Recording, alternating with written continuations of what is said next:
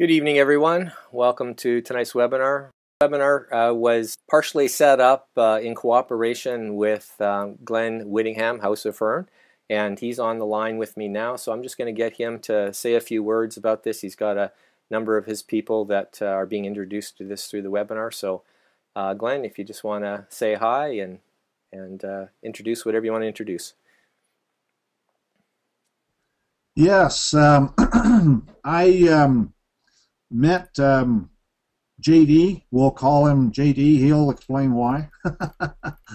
um, anyways, uh, I met him uh, was about a month or two ago in uh, Vancouver, um, and um, he had this uh, privateperson.com website, and um, I've always, you know, said to stay away from the idea of being a person.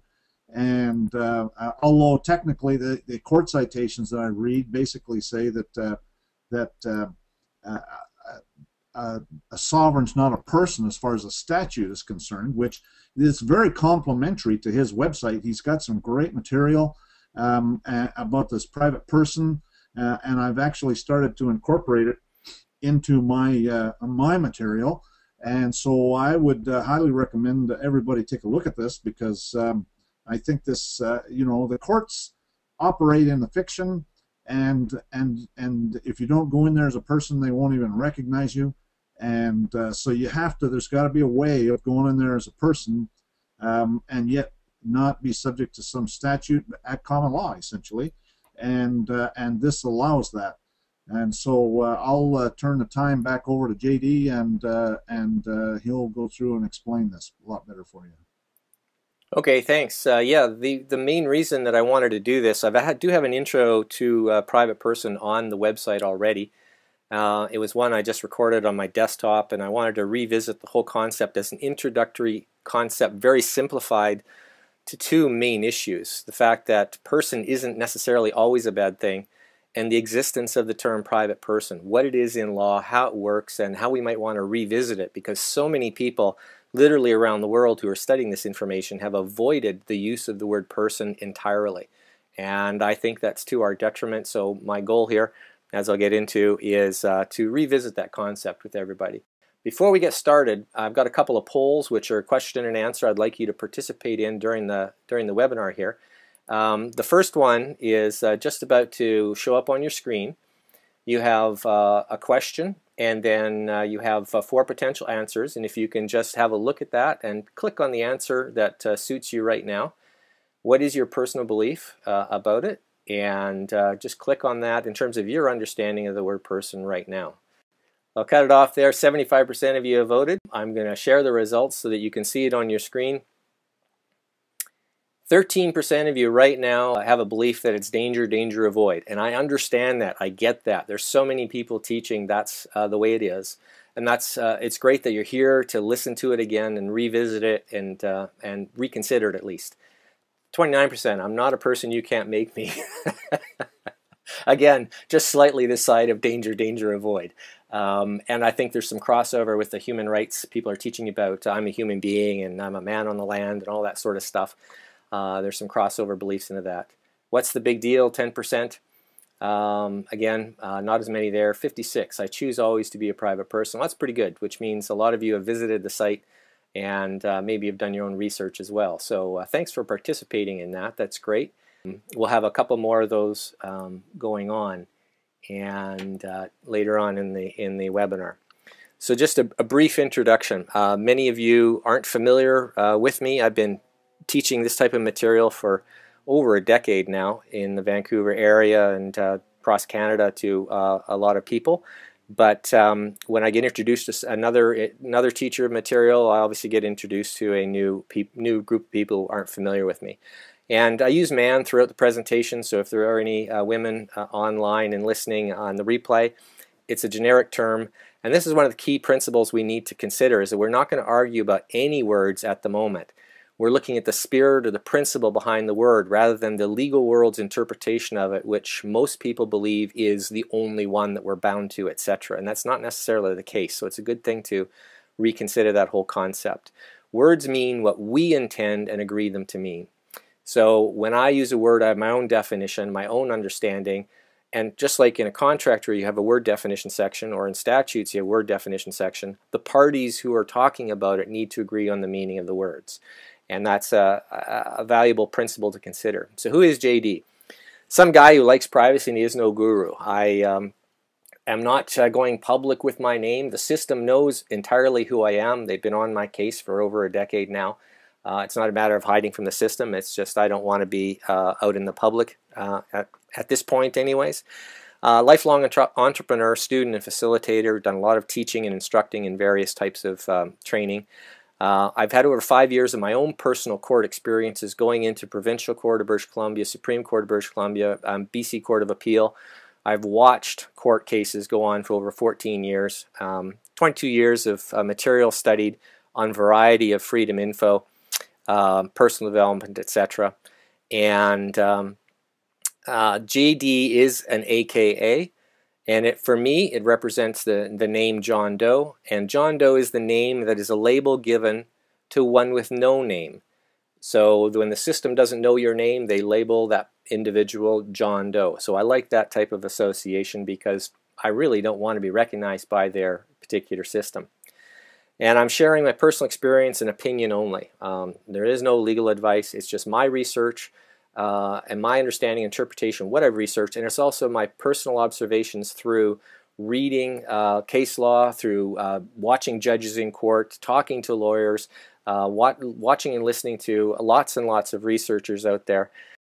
Just to give you an idea, this is just a list of some of the researchers that I've studied over the years. And when I say study, I'm not just saying watched once. I've watched uh, hours of their material, done confirmations, and many of them I've had uh, personal conversations with and so on.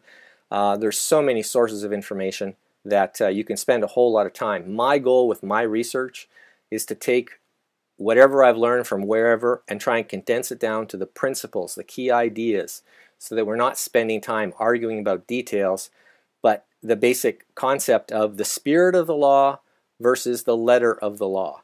And I'm looking at the spirit of the law, which is not the way the system presently functions. It doesn't mean that that's not the way it can't function if we actually uh, learn how to operate the system correctly my studies to date so far.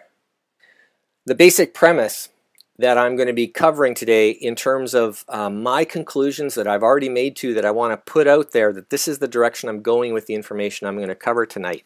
So it's um, uh, kind of laying a bit of a background on the perspective I bring to the, the details that we're going to be covering here. That the common law protects you already we I live in common law British Columbia and common law Canada, except of course for Quebec, which is uh, civil law. So the basic foundation of common law is there. It's recognized throughout the law. The judges speak to it all the time. You can find it referred over and over and over throughout uh, uh, all legal uh, materials. And many people go, well, it's gone. It doesn't exist anymore. They don't recognize it. Well, they do. They don't play the game that way right now, but they do recognize it because they have to. It's the foundation. The foundation is sound but has been taken over, covered up, and hidden from sight. They don't want you in common law, and they're doing everything they can to keep you out of it. They're hiding it from you. They'll play games with you. They'll trick you, etc. Um, because a duplicate mirror world of law exists. They have created something that looks like a proper legal system but is not. So when I walk into court the first time, I assumed I was going to be treated honorably. I assumed I was going to be dealing with common law because that was my understanding of the law. And uh, they're playing a whole different game and they don't tell you. So they've created this whole second reality which they invite us to come into without our knowledge and understanding, and they manipulate us with the uh, assumed consent of it. So we need to know the why and how of the common law system as it's supposed to be working. And I think we intuitively understand it, and the why and how of how they trick us into it. Now remember, this is an intro, so I'm going to be covering some basic stuff, but the material I'm covering as I go through it is going to, again, put a twist possibly on the, your understanding that you've had until now. You really are the power when you are in honor. And that is, again, the foundation of law is that it's, it's the man, the private person, that is the power in law. And we have uh, the opportunity to exist that power when we deal with the system in an honorable fashion. and we recognize our power in it and we hold them to account to it. But we need to understand what that power is. Hold those manipulating the law to account for their manipulations. At some point in time, this is where we need to go. This is the process that needs to happen is that there needs to be accountability. And there is accountability coming into the system slowly, slowly, slowly in places you can see it. Um, and that they self-cure. When you point it out, they will hold themselves to account. And it, just has to be pointed out to them in a way where they are, you know, going to hold themselves to account. So my basic premise is that private person is the high status that you want to claim. Now you don't have to agree with me now, that's not the point. I'm not trying to convince you of anything. I just want you to revisit this concept if you haven't, introduce you to it if you haven't been exposed to it, do your investigation, do your research, and if you decide that that makes sense to you after you've convinced yourself, then wonderful. And if not, that's wonderful too. But this is the conclusion that I have come to. All right. Now, my goal here, like I said, is to get you to reconsider person as a legal concept because that is a big part of how their game is structured, and introduce private private person as the primary person of power in law. The private person must exist first for any other person to exist in law because every other person is a derivative of the private person is part of my conclusion. The whole stance that people have with regards to the fact that I'm not a person, again, I understand that. And I had my own questions based on all the material out there for a long time. But the very first thing that I did when I went to court, uh, I was charged with failing to comply with a notice to file my taxes in 1998. And the very first question I asked was with regards to status and the capitis of the name on the summons. And uh, we, you know, rolled down the merry road uh, from that point forward. And so, person and, and the natural person and the status has been the, my first uh, curiosity and question from the very beginning. Is person bad really? Like, what is a person? Rather than you know the way it's been taught or perceived by some other people. Why is the system afraid of private person? And when I use private person, there is a correlation to natural person. And we'll get into that more, and I do cover it on the website in great depth. But natural person is synonymous with private person in the common law. And again, we'll get more to that later. Why are they afraid of it if I raise natural person or if I raise natural person, where they actually go on the high threat mode because you've done it? And what do the dictionaries really say? A number of people teaching about person and, and natural person, etc. There'll be four definitions, and they'll pull one definition out and say, see, see, it's this. Well, what about the other three definitions? Because it's context. Everything changes based on context. What is the law built on? Is it built on the living or the dead? Now, the Roman civil law system is based on dead entities, uh, persons uh, that are corporations, etc., etc. But every entity must be created by the living first. And the common law is about the, the living, and the civil law, Roman civil law, is about the dead. And so, in order for you to create those corporations, you need the living person in order to uh, create the dead. So, the living must come first, and it must continue to exist for the quote unquote dead to exist, which is kind of funny. And I was thinking about this the other day. Uh, it's a concept I've had in my mind for a while. All these zombie movies, you know, like I think that really it's a it's a good analogy for most people out there is they are the living dead. They exist in a civil law society as dead entities, as far as the system is concerned, legally speaking, but they have an element of life. They have no consciousness or ability to think for themselves. And there was a recent new movie that was kind of a, a love story of a, of a zombie who wakes up from the near dead experience and he becomes living again, and all the zombies start to wake up again. And it, it might be a story about society starting to wake up from the living dead civil law system. So effectively, we're only going to talk about common law, and I'm going to abbreviate with the initial CL and Roman civil law as RCL throughout the um, presentation. These are the two main systems that we're dealing with. Um, there are other legal systems out there, but uh, these are the two that we're going to be talking about. And uh, capitis and status. Capitis uh, diminutio is one of the uh, Roman civil law terms with regards to the capitalization of the name. Most people have been introduced to it most people have no concept of what it really means. They've only been told uh, one interpretation, half an interpretation. The status issue is uh, key to everything uh, that I do. And this term, this phrase, that people go, it's spelled in all capital letters. This drives me nuts. I have heard people say this forever, and I hear people saying it today, and I correct everybody at all times whenever I hear them say it. It is not spelling when you talk about capitalization, it is style. Style, style, style. Spelling is which letter you choose, and style is how that letter is represented in a small or a uh, capitalized version. And so whenever you use the wrong phrase to describe something, then the courts and the and the the uh, lawyers get uh, grays gray areas to manipulate their words. I was in court one day and I asked the judge if uh, they could ask the Crown to change the um, style of the name on the information. And uh, the judge turned to the Crown and said, Would you be willing to change the spelling of the name on the information? The Crown just kind of smiled and said, No, we're fine with it the way it is. And I didn't catch it at the moment, but when I revisited uh, the conversation in the transcripts, I looked at it and the judge had changed my request from changing the style to changing the spelling. And that's a totally different request and it's a totally different issue. So when you use the wrong uh, phrase, definition, word to describe what it is that you want, you give them an opportunity to wiggle out of what you're doing. And for a full description of Capitis and other issues, Do Common Law Courts Exist course is on uh, private-person.com website.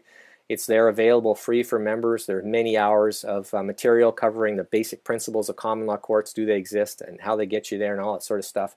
So again, that's where to go for more um, information and proof on it. The whole idea of I'm not a person comes down to status versus capacity. And many people are confused about the distinction between the two and aren't even aware that there is a distinction. The status is uh, different than capacity. And status is what you are relative to the game. And the Roman civil law defines it as your condition in law, at law. Status really is who you are in the game versus capacity, which is what you can do in the game.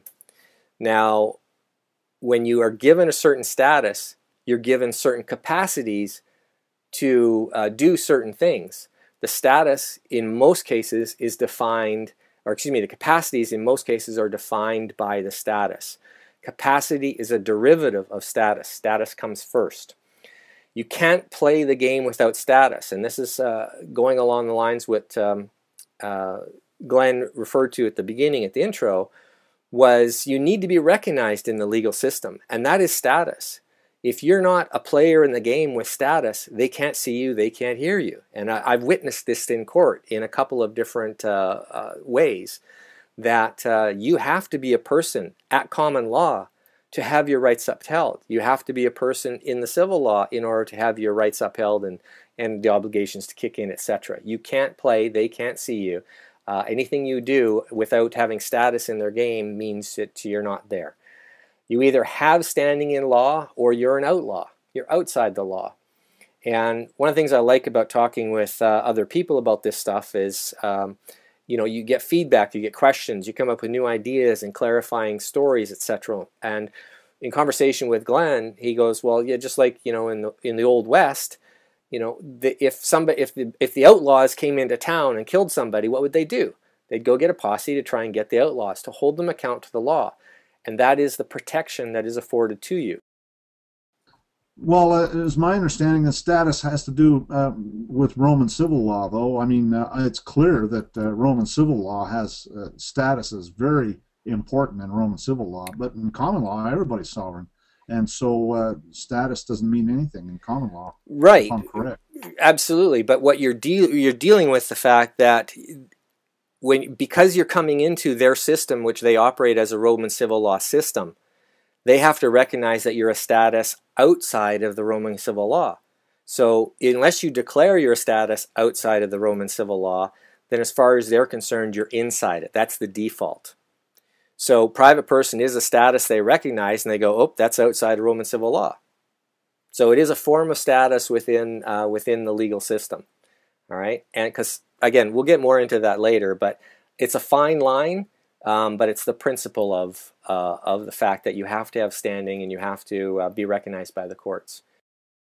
Another distinction, again, um, not, many things that I'll say, especially when you're trying to bring things from memory and put things into words, it's difficult to get the exact word sometimes. And You're trying to express a principle. As I mentioned, the word um, may not be perfect, but the principle being described, sometimes difficult to uh, get clear. And everybody's got a different definition of it. So my understanding and the way that I describe this to myself is that all law is fiction. Common law is a fiction. All right? And it, I mean, nowhere is there you know some law that's just there for everybody. It's a set of law. It's a set of agreed to rules. And anytime you have an agreed to set of rules by by men, you have a fiction because you can change those rules. You can change those understandings, etc. And uh, you know even the law of nature. Um, that's pretty well defined because you can observe it, but even there, there's arguments about it, etc. And we're not going to get into the um, uh, the religious or theological perspective right now. We're just looking at the legal systems that we're dealing with on a daily basis with regards to uh, the common law and the uh, Roman civil law structures at the moment. They're made by man, therefore they're changeable, they're flexible, they grow over time. So it's like sitting down to a game and if the rules are written down on the, you know the cardboard box inside lid, then everybody knows what they are. And what they've done is they've sat us down at a game and we don't know where the rules are and we are assuming that the rules a certain way. They've made them, they can change them, especially in Roman civil law, whereas the principles of um, common law are less changeable because they're principle based. As soon as you codify, write things down uh, to such a degree that it's all in code, now it comes down to interpretations. It comes down to letter of the law stuff versus spirit of the law stuff. That's why the common law is an unwritten um, law because it's the principles that underline right living versus, you know, how do we define this word and in this context and let's all argue about it and make lots of money. The general principle of common law was to create a safe, healthy uh, societal structure that allowed uh, protections for the group and some obligations uh, to, to the group for the purpose of maintaining that self healthy societal structure. Have we gotten away from that? Absolutely. Can we get back to it? Goodness knows. I don't know. Uh, the rules are generally good as far as I'm concerned. Uh, I've studied the court rules, I've studied the court regulations. They make sense. There's a flow to it. They're dealing with situations that are going to come up over and over, so you might as well have a set of rules to guide people. And it's complex because you're looking at it as a whole. And if you break it down and look at chunks, you look at ideas and concepts in those rules, you'll find out they make sense almost all the time. Lawyers and crooks twist and break the rules because they're pointing to the letter of the law and they're going, well, what does this mean, etc. And they're interpreting and creating arguments that don't need to exist. It's the way it's being manipulated versus the fact that it's there, I think, is the is issue. Uh, history of man. I, would like that. Hmm? I, I would like to add in here about these rules is that, uh, in my opinion, they have way too many rules. I'm not, I'm not, I don't have a problem with rules per se, but uh, you know, when they have a thousand pages worth of rules, that's way too many. Uh, it should be short. It should be uh, brief. Uh, and and I think that that's one of the sources of corruption. They use their rules against you, and they deprive you of justice because of the rules. Yes, but um, you'll, you'll find most of the actual. I'm talking more reference to the court rules, and you'll find that the court rules and the principles of uh, process are relatively straightforward. Um, have they been manipulated? Sure, but the large percentage of them I have found to be reasonable in my jurisdiction, anyways.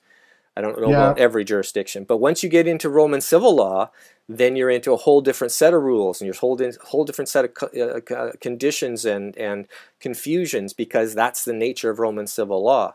Um, so yes, I agree with you. It's uh, gotten out of hand. Well, and I think that's one of the reasons that they have so many rules is because it is absolutely the more gray areas, the more confusing, the more you need an expert to interpret it, the more power they have and the less power you have. That is absolutely part of the structure for sure.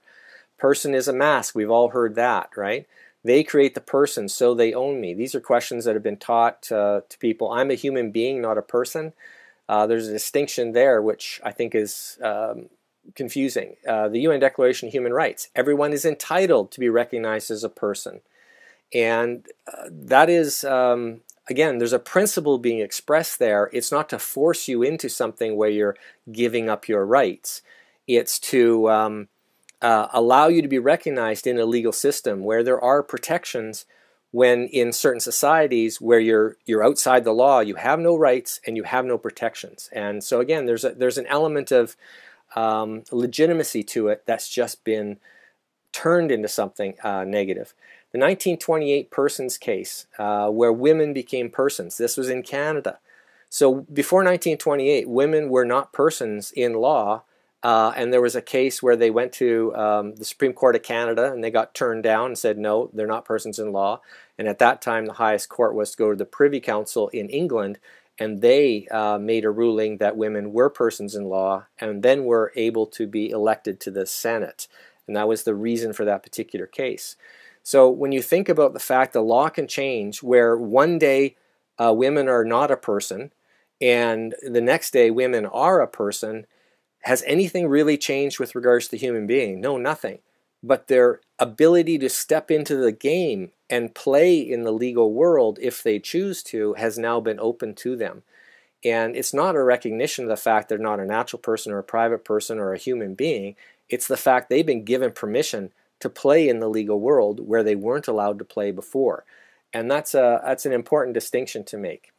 Now, this is probably, if you're not watching the screen right now, you really should because this is probably the most exciting, dramatic, educational moment of this entire presentation.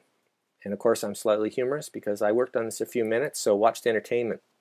This for me is a really brief outline of how laws progressed it went from basically having warrior kings going conquering, wiping out, and enslaving populations. And, uh, and then their law, what they say is the law. That's how the law was set. And it was, you know, iron fist military control. And then they kind of went off the scene, and we ended up with all of these different monarchies, and we had the kings and queens and various other things.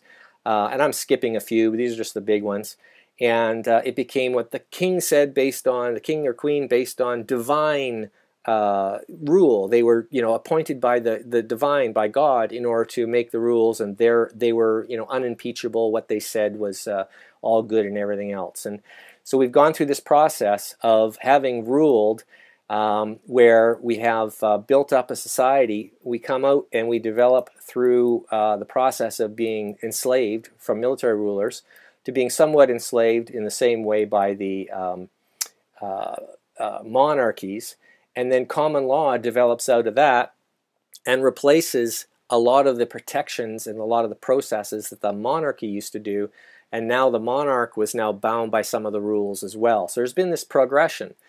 The problem is that they also then created all these different other forms of law. The Roman civil law is a, a carryover from before the common law. Trust law created, admiralty law, etc., and more and more and more laws. And each one of those is a different place in the world.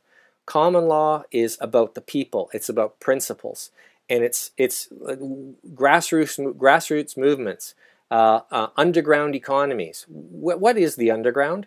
The underground is the earth. Where do the people come from? Our bodies are made up of the elements of the earth and, uh, you know, imbued with a spirit, right? So we have this concept of we can exist at common law on the land and we can also step into any of these buildings which they have created for us to go and play in, each one of them being a different type of law.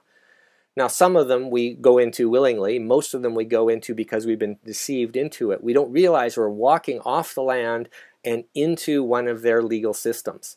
And then we lose the basic principles of our protections and our rights at common law. The idea is not to get sucked into these buildings of confusing rules, regulations, interpretations, gray areas, etc., where they can change the rules anyway, but to stay at common law. That's my personal goal. Now, um, this is an interesting dynamic when you think about it. In North America, we all used to be living on the land, farmers, and now everybody's congregated into these cities, and there's very few people left on the land. And what's in the city is Lots of high rise buildings, right?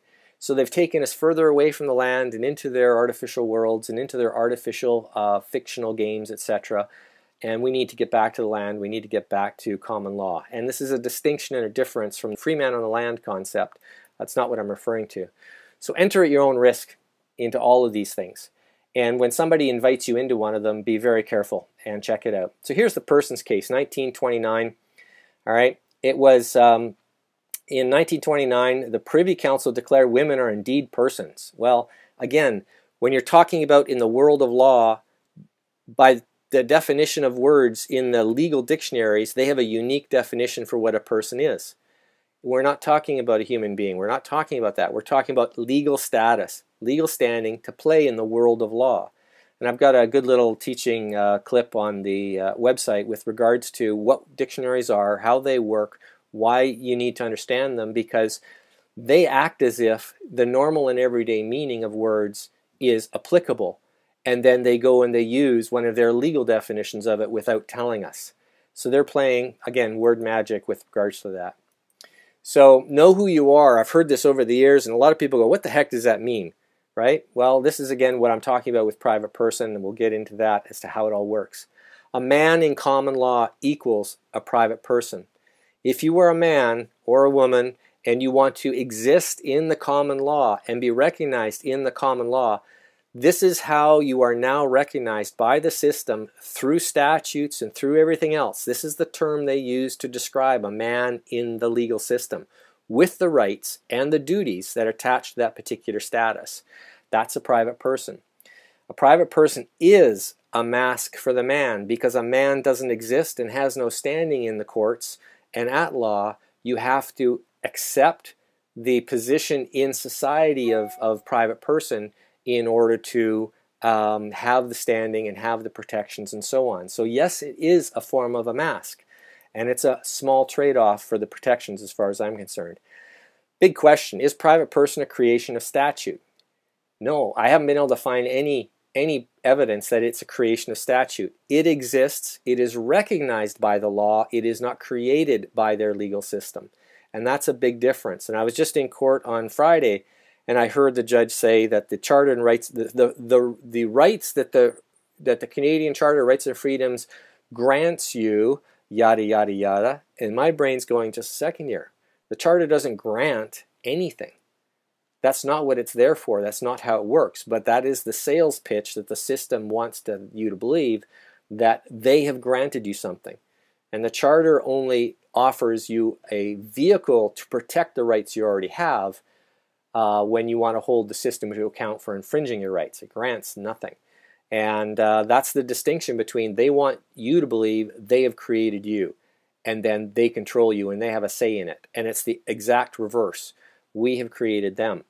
Private person is the foundation of all common law. Everything comes from the private person. Without the private person, you can't imbue energy into any of the other creations.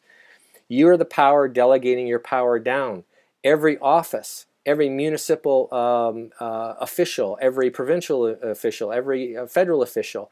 Those are offices in law that only exist because private persons have created that office and put people into those offices to then take that uh, power. So it's the context. Everything is about context. Uh, you need to understand are you talking about the real world plain English? Are you talking about the common law principle and uh, legal interpretation of the words and the terms and the conditions? Or are you talking about the civil law version? Or are you talking about the admiralty law version? So people mix a lot of this. And when I hear people quoting maxims, legal maxims, they'll say, well, this maxim is, you know, it's a maxim, it's true. Well, just a second. What type of maxim is it? Is it a commercial maxim? Is it a common law maxim? Is it an equity maxim? Because if you try and bring the, a maxim from a different form of law into the one you want, it's not going to work. It doesn't necessarily bridge the gap. So you have to be very careful of the context. So a private person, and this is a distinction that I made many years ago. I'm teaching for a long time. It's already on the website, but I'm going to cover it very, very quickly. A private person, when they are of full capacity, that means that you have the mental ability to uh, make decisions, etc. There's a certain age that uh, is um, deemed to be of full capacity at different legal systems, usually 18, 19, 21, depending on the jurisdiction. When you're full capacity, the law deems you to have the ability to demonstrate full knowledge. You understand how the difference between right behavior and wrong behavior, and you can make that decision. And uh, you have the mental capacity to do it. You also are deemed to have full responsibility You're responsible for your actions, which means you can be taken to court, prosecuted, sued, etc., for the actions you take. And the court deems you to be liable, which means they're going to make you pay if you uh, act in a way that causes harm to another person. And this is just based on, uh, there is no case law that I've seen with regards to this, but just plain simple deduction. When you get 18, they say now you're an adult, now you're liable for your own actions and responsible. This is what they mean. They've assumed you've come to a position where you're smart enough, you've got enough life experience, you know right from wrong, and now you're responsible and liable for your actions. Because up until then, your parents are responsible and liable for your actions. At least that's the way it used to be. So, can you see how most people may not qualify to be a private person of full capacity because they demonstrate they don't understand. They demonstrate irresponsible behavior and they demonstrate unwillingness to take liability. And as soon as you, they can see those actions from you, they you're inviting the powers that be to protect and control you. Invoke parens patriae or um, uh, any other form of control. They're looking for an excuse to point their finger at you and say, You don't understand, you're not responsible, you're not liable, therefore we get to take control of your life. Okay? So, this is a foundational concept with regards to what capacity is. Your actions speak louder than words and dead paper. In court one day, I walked in and I says, Here's an affidavit. I didn't have time to get it notarized. Will you accept my affidavit as if it was sworn? And the judge said, Yes, I'll accept your affidavit as sworn. Because I'm standing there, I don't have to have a piece of paper. I can address it uh, myself. And if he has any questions, I'm right there. The man, the living, will always be superior to the paper. And I've also presented paperwork, and the judge just looks at it and go, "Yeah, okay. Well, tell me what what's in it." He wants to know if I understand what's in that document, rather than maybe somebody outside the courtroom wrote it for me and I don't understand it. So it's a knowledge test. All right. So uh, they do need to have you express yourself in your own words. The idea of jurisdiction is the first thing in every case. I've just been uh, in court a number of days with regards to a preliminary trial uh, hearing for uh, tax evasion case, and uh, jurisdiction is the number one thing that they have to establish in order to have any type of hearing. And my focus with uh, helping people with court stuff is the very first thing you focus on is jurisdiction. Do they have standing to make the claim they're making? And what is the claim that they're making? Because jurisdiction is the right, a power, or authority, or the law which is speaking to you.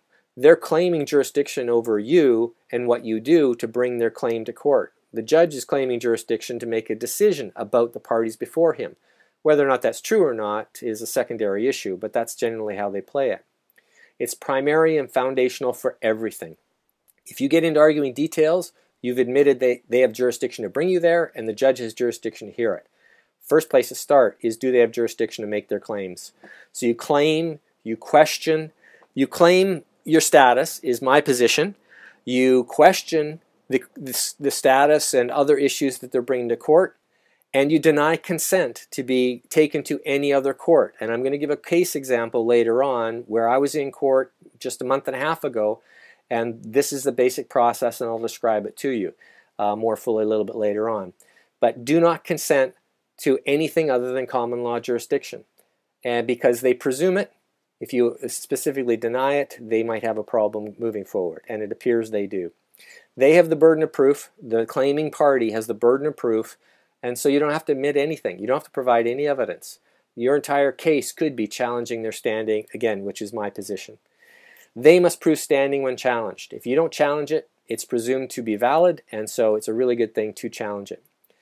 Now, symbols of power are an important thing to recognize because capitis diminutio, uh, in terms of the style of the name, is a symbol of power. The law of flags uh, is important distinction with regards to the jurisdiction. This goes to stationery when they send you a letter. This goes to a, a flag in a courtroom or a coat of arms in a courtroom. They are communicating with symbols all the time. Their symbols are telling you where you are and who they are. And if you don't know what their symbols say, what they mean, then you may be, you know, participating in something that you don't really want to participate in. All occult sciences use symbols, and occult just means hidden, which means they're not going to disclose it to you. So if you're into their, you know, court occult stuff, you better understand some of their symbols. And every symbol has a defined meaning and a message. If you don't get the meaning and the message, you may miss what's going on. So there's some very basic stuff to understand with regards to that. And symbols are a language. They're communicating and advertising all the time to those who understand this is who we are, this is what's going on. I've given you notice. And if you didn't uh, object to it, then I guess, uh, you know, I don't have to do anything else. Again, it's trickery, but that's how they play the game. The documents that they use, how they, how they structure them, the courtrooms, the flags, even the websites are advertising. And I'll show you that uh, shortly. Uh, who's in control, uh, what law is in place, and so on. So for me, everything really comes down to the real versus the fiction. Uh, and a lot of people are going, "I'm a human. I'm a man. I'm real. Everything you're doing is a fiction," and they're they're they're you know fighting and running away from they see everything as a fiction without recognizing that there are elements of the court that are real as well. There has to be, because the fiction courts have to be built on top of the real courts in order for them to exist. So there may just be a real court there that we want to uh, access. A corporation cannot be created without a natural person making the application. And, uh, you know, that's just, again, it, they take an, a natural person status of individual, private person, in order to create these things. Common law known as a private person. And this is where we get into bijural terminology to create the distinction between natural person and private person. The um, in at Roman civil law, a man is referred to as a natural person. That's what it is in Quebec. That's what it is in international uh, court uh, in um, in The Hague. They refer to the natural person because they're dealing with legal systems from around the world. The bijural means two jurisdictions, and what they've done is they said we've got common law and we've got civil civil law, and private person does not exist in Roman civil law, but natural person can exist in common law. So because we're dealing with two different jurisdictions and we have to communicate with both of them, let's use a let's use a term that both systems can use. And Roman civil law is a top-down authority. They make the rules, they write the code, and you obey them. And uh, common law is a people-up authority. The people are the foundational power and the foundational authority. They're giving their power to officers to execute in a trust manner on their behalf, and their failure to do that is where we need to hold them to account. And here's an, uh, an example of the bijural terminology program from Department of Justice Canada. Now, the phrase here is common law. Now, their problem was we have we have Quebec, which is uh, civil law, and we have the rest of Canada is common law. We're a federal government that has to write federal laws that have to apply to both jurisdictions. How do we do that with the language that both jurisdictions can understand because it's possible to exist in both jurisdictions. So they've gone through and they've changed words in the acts in order to make them effective in both jurisdictions. So this was with regards to the Federal Real Property Act. They went through every act and every line looking for problems. The provision, they used to say, real property may be transferred by a private person.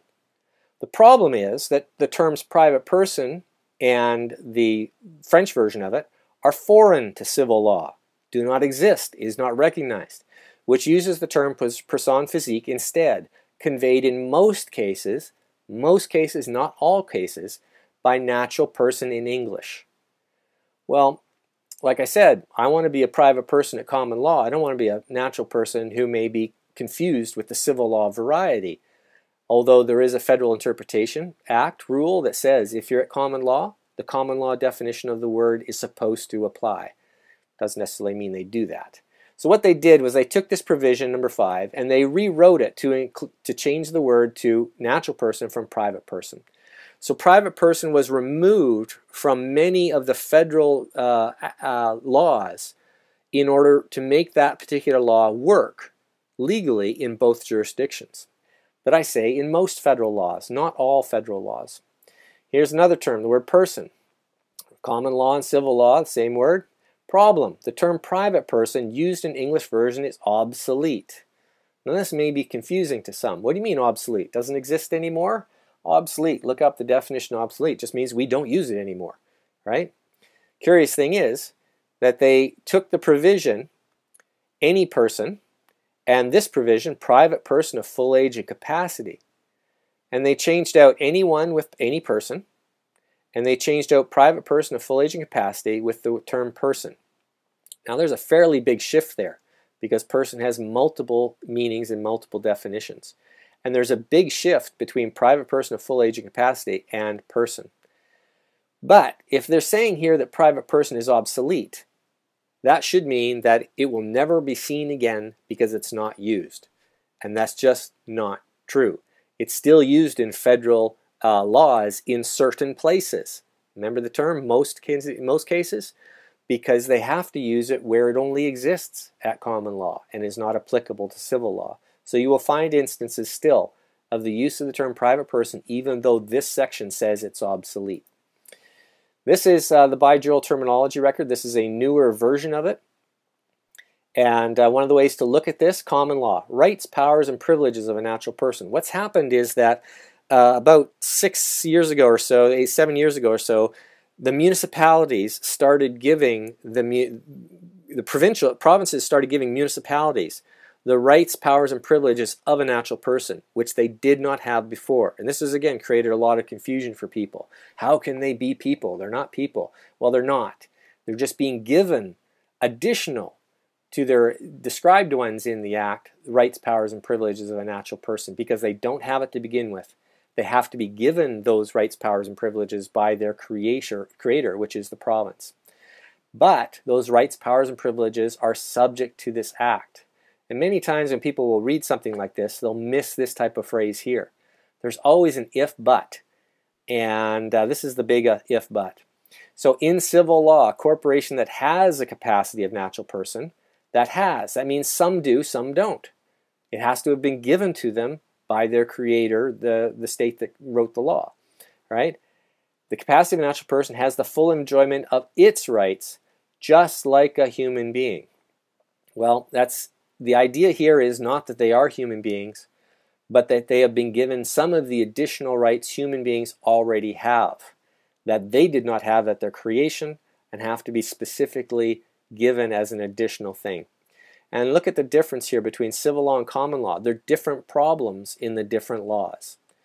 In common law, to ensure that a corporation could exercise all of its rights, the words uh, wording rights, powers, and privileges of a natural person or wording similar to that must be used. So they created the solution, the harmonized version, and this is for the French. Harmonized version in French is the only one that changed. So you can see they've gone through this power, this process of clarifying there's a difference between the civil law powers of uh, a corporation and, a, and the common law powers of a corporation, how to define what those additional powers are if you're talking about adding natural person powers. And my interpretation of the natural person powers is the right to hold property, and uh, buy and sell without having to go and get additional legislation passed to allow them to do those things. They can do it whenever they want. Those are the two key powers that I saw. This, this point I'm making here is that I talked about symbols. You have to look for symbols in everything. And you can see on this page here, you have the Canadian flag and the name of the department. And if you go to the actual, they have a symbol guidebook within the government saying this is how your letterhead should look. This is the color of the flag that it should be. It can't be another color. So they're standardized and how they're supposed to be. And when I first started researching in the late 90s, this Canada word mark used to be at the bottom of the page. It got moved up to the uh, top right here. So it's been migrating up. And there's actually some Canadian government websites that now have Canada in the top left. Law of the Flag says this is the authority under which this is being issued. And as soon as you change this, you change the authority it's being issued under. This was the um, common law Canada, possibly. And as soon as they slide this over and replace it, as far as I'm concerned, that's the corporate Canada that would then be issuing it. So this is the page describing uh, this these uh, bijural uh, terminologies. So this is what it looked like in terms of uh, advertising the authority it was being issued under. Then this was the new design, fancier, prettier, etc. But there's a fundamental difference here in that they brought this natural looking maple leaf into it. Now, there's a lot of questions about did Canada go into bankruptcy and the US go into bankruptcy and they're now out of bankruptcy or not. If bankruptcy occurred around 1929, nations are supposed to go into bankruptcy for 70 years. That puts you into 1999 is the year that Canada would have come out of bankruptcy. And there's been a number of changes that have occurred to our currency, to the legal system, uh, and a number of other ways that indicate that something changed. And uh, this is, for as far as I was concerned, was one of the changes. The coat of arms was a major change in 1994, and uh, I'm going to touch on that in a few minutes. But uh, this here is, a, is the same authority it's being issued under, but they've added this natural um, thing here. This is a copyrighted, trademarked, artificial maple leaf. Maple leaves don't look like that; they look like this. So I thought it was interesting when this came in, and that was in around 2011. This one was taken. Well, I've been on government websites recently, and they've now changed again. And take a look at the latest in incarnation of this. You have a black and white bar across the top. A black bar across the top, it's a black bar across the bottom of the page. You've got reversed white type for the government and the flag. It's not like they got a shortage of ink on the web. All right, this should be a red and white flag. As far as I'm concerned, they're advertising that something has changed legally within uh, the government and that there's now some type of shadow government, private government, something that is operating in contradistinction to this particular government. And you'll notice this natural maple leaf has now been re replaced by the artificial 9-point maple leaf or 11-point, depending how you count it. And you'll find this maple leaf down at the bottom of the page. So like I said, with they're advertising all the time, who's in power, who's in control, what authority. Something has happened at the highest levels with regards to Canada as a nation, as far as I'm concerned, based on the changes to the coat of arms and uh, this type of advertising on the websites. And this is just as of uh, June 2013. Now, a lot of people go private person, haven't heard it before, don't believe it exists. Great. All right, this is a search in CanLII with regards to the term private person. Real easy to do. You just go to this address, canli.com, and it's quotation mark private person.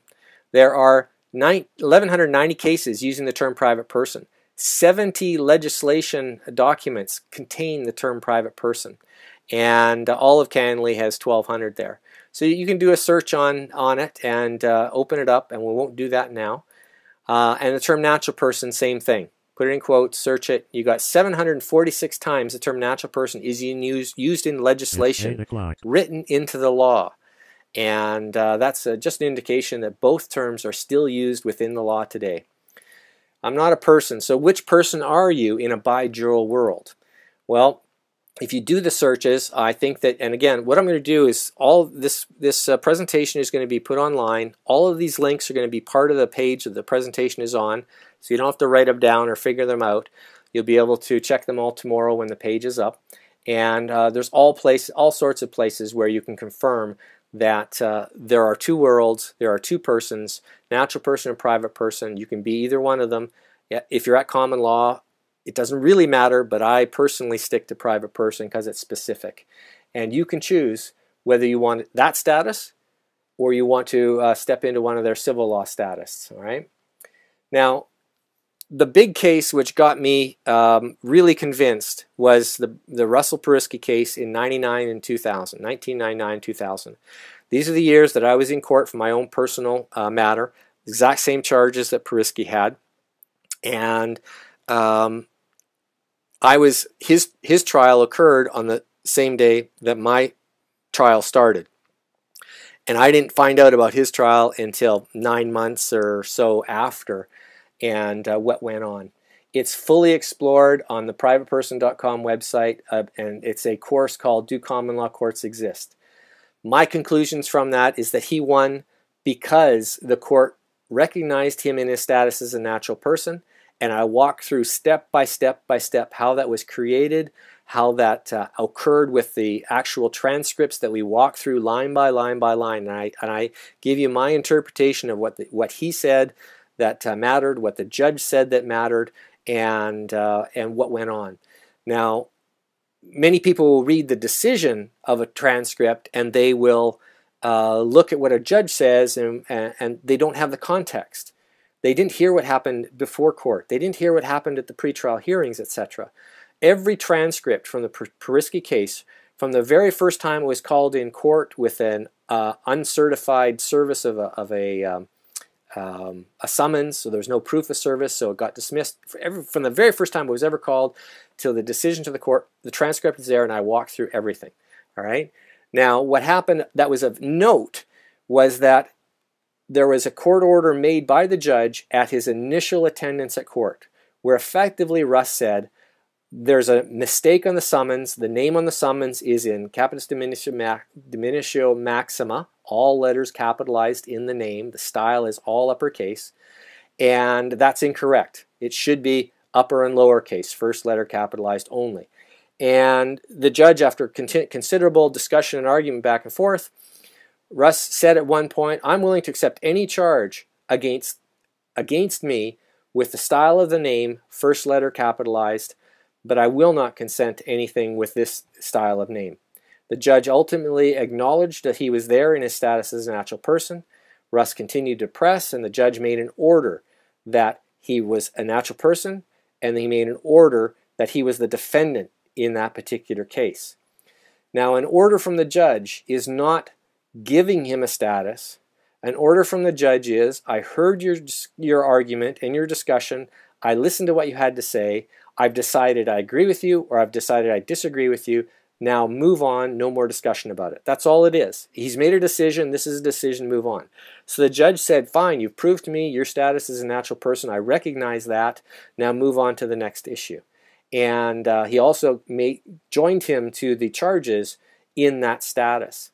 Now, there's a story which is told in that full, full uh, exploration of that course of what happened in the subsequent hearings leading up to the trial where the Crown tried to trick him into uh, accepting the full uppercase name again. And there was a partner of the local law firm who was the prosecutor at the first hearing who was replaced by an articling student at the next hearing. There's a clue there. When you got a lawyer who slips out because something has happened he can't participate in, like I said, that's a clue. Anyways, day of trial comes, they show up at court, and they say, oh, gee, uh, all the courtrooms are full here in Abbotsford, but we have a spare courtroom down in Chilliwack. Would you mind going 20 miles down the road to Chilliwack? We have a courtroom all ready for you there. And they've got 20 or 30, you know, people who have come along to observe and stuff like that. And they end up heading off down to Chilliwack, or excuse me, down to Abbotsford. Again, the whole story, all the details are, are with the course. Now, when they show up at this courthouse, they see a Canadian flag flying on the roof line of that particular courtroom not the courthouse, that particular courtroom. That one courtroom has a roof line that extends above the courthouse roof line. And there was a Canadian flag attached to the uh, corner of that roof line. And then when they walk into the court, there's no benches, no witness box, uh, no court clerk's bench, etc. It's flat tables and chairs. And uh, they proceed to have their, uh, what I consider to be a mock trial. My interpretation is that they had to move jurisdictions from Chilliwack, which is a federally incorporated city, to a provincially incorporated city prior to a certain year uh, where they have Abbotsford Police. It's a different jurisdiction. Common law jurisdiction court exists in that jurisdiction. They had to clear out all the court paraphernalia and actually have flat tables and chairs. You've heard of having a level playing field. That's what common law is, a level playing field. They had the trial up to the point of the Crown closing their case and then without him opening his mouth, the Crown uh, or the judge argued with the Crown that they hadn't proven their case. The Crown successfully argued that particular point. The judge went away, came back, and argued a different point. And the Crown, as far as I'm concerned, successfully argued that point as well. I agreed with the Crown's position. But the judge disagreed, acquitted Russ without him saying anything in his own defense or raising any issues whatsoever, and um, then the Crown did not appeal the acquittal. That's the quick overview of it. As far as I'm concerned, it's a very clear case. I dissect everything in the course, and there's lots more information there for you if you want the details of it. And uh, I've studied that in light of all of my personal experiences in court, watching judges react to natural person, how they've changed their tactics over the years, how CRA, our IRS up here, uh, has reacted to uh, the term private person over the years, them modifying in order to try and stay in a lawful way. So my conclusions with regards to that is that there was a one issue, one fact, one outcome. He made his status claim of natural person. The judge made an order recognizing that, and an order binds all the other judges that come after him to recognize that that is the state of things and they can't change that. An order can be, only be overturned by going to a higher court and having that appealed. So once that order was made the first time, each judge thereafter was bound to recognize it and deal with that case as a natural person. And I believe that there's a technical disconnect between a natural person being charged with a statute case and the uh, common law man who is before the court. It just can't happen. But they had to allow the case to play out as if it really didn't make any difference. He hadn't won anything. And then they have this fake trial and they get a decision out of it, and then people forget about it and it's lost in time and it becomes, you know, one of those urban legends that this actually happened. And I didn't want that to happen. So I researched it, collected all the evidence I could. Uh, there's a video of Russ giving a walk around tour of the court. Uh, and uh, and showing, you know, talking about it and stuff like that. So I wanted it to be recorded so people could continue to research it in the future, because ultimately fiction must yield to truth.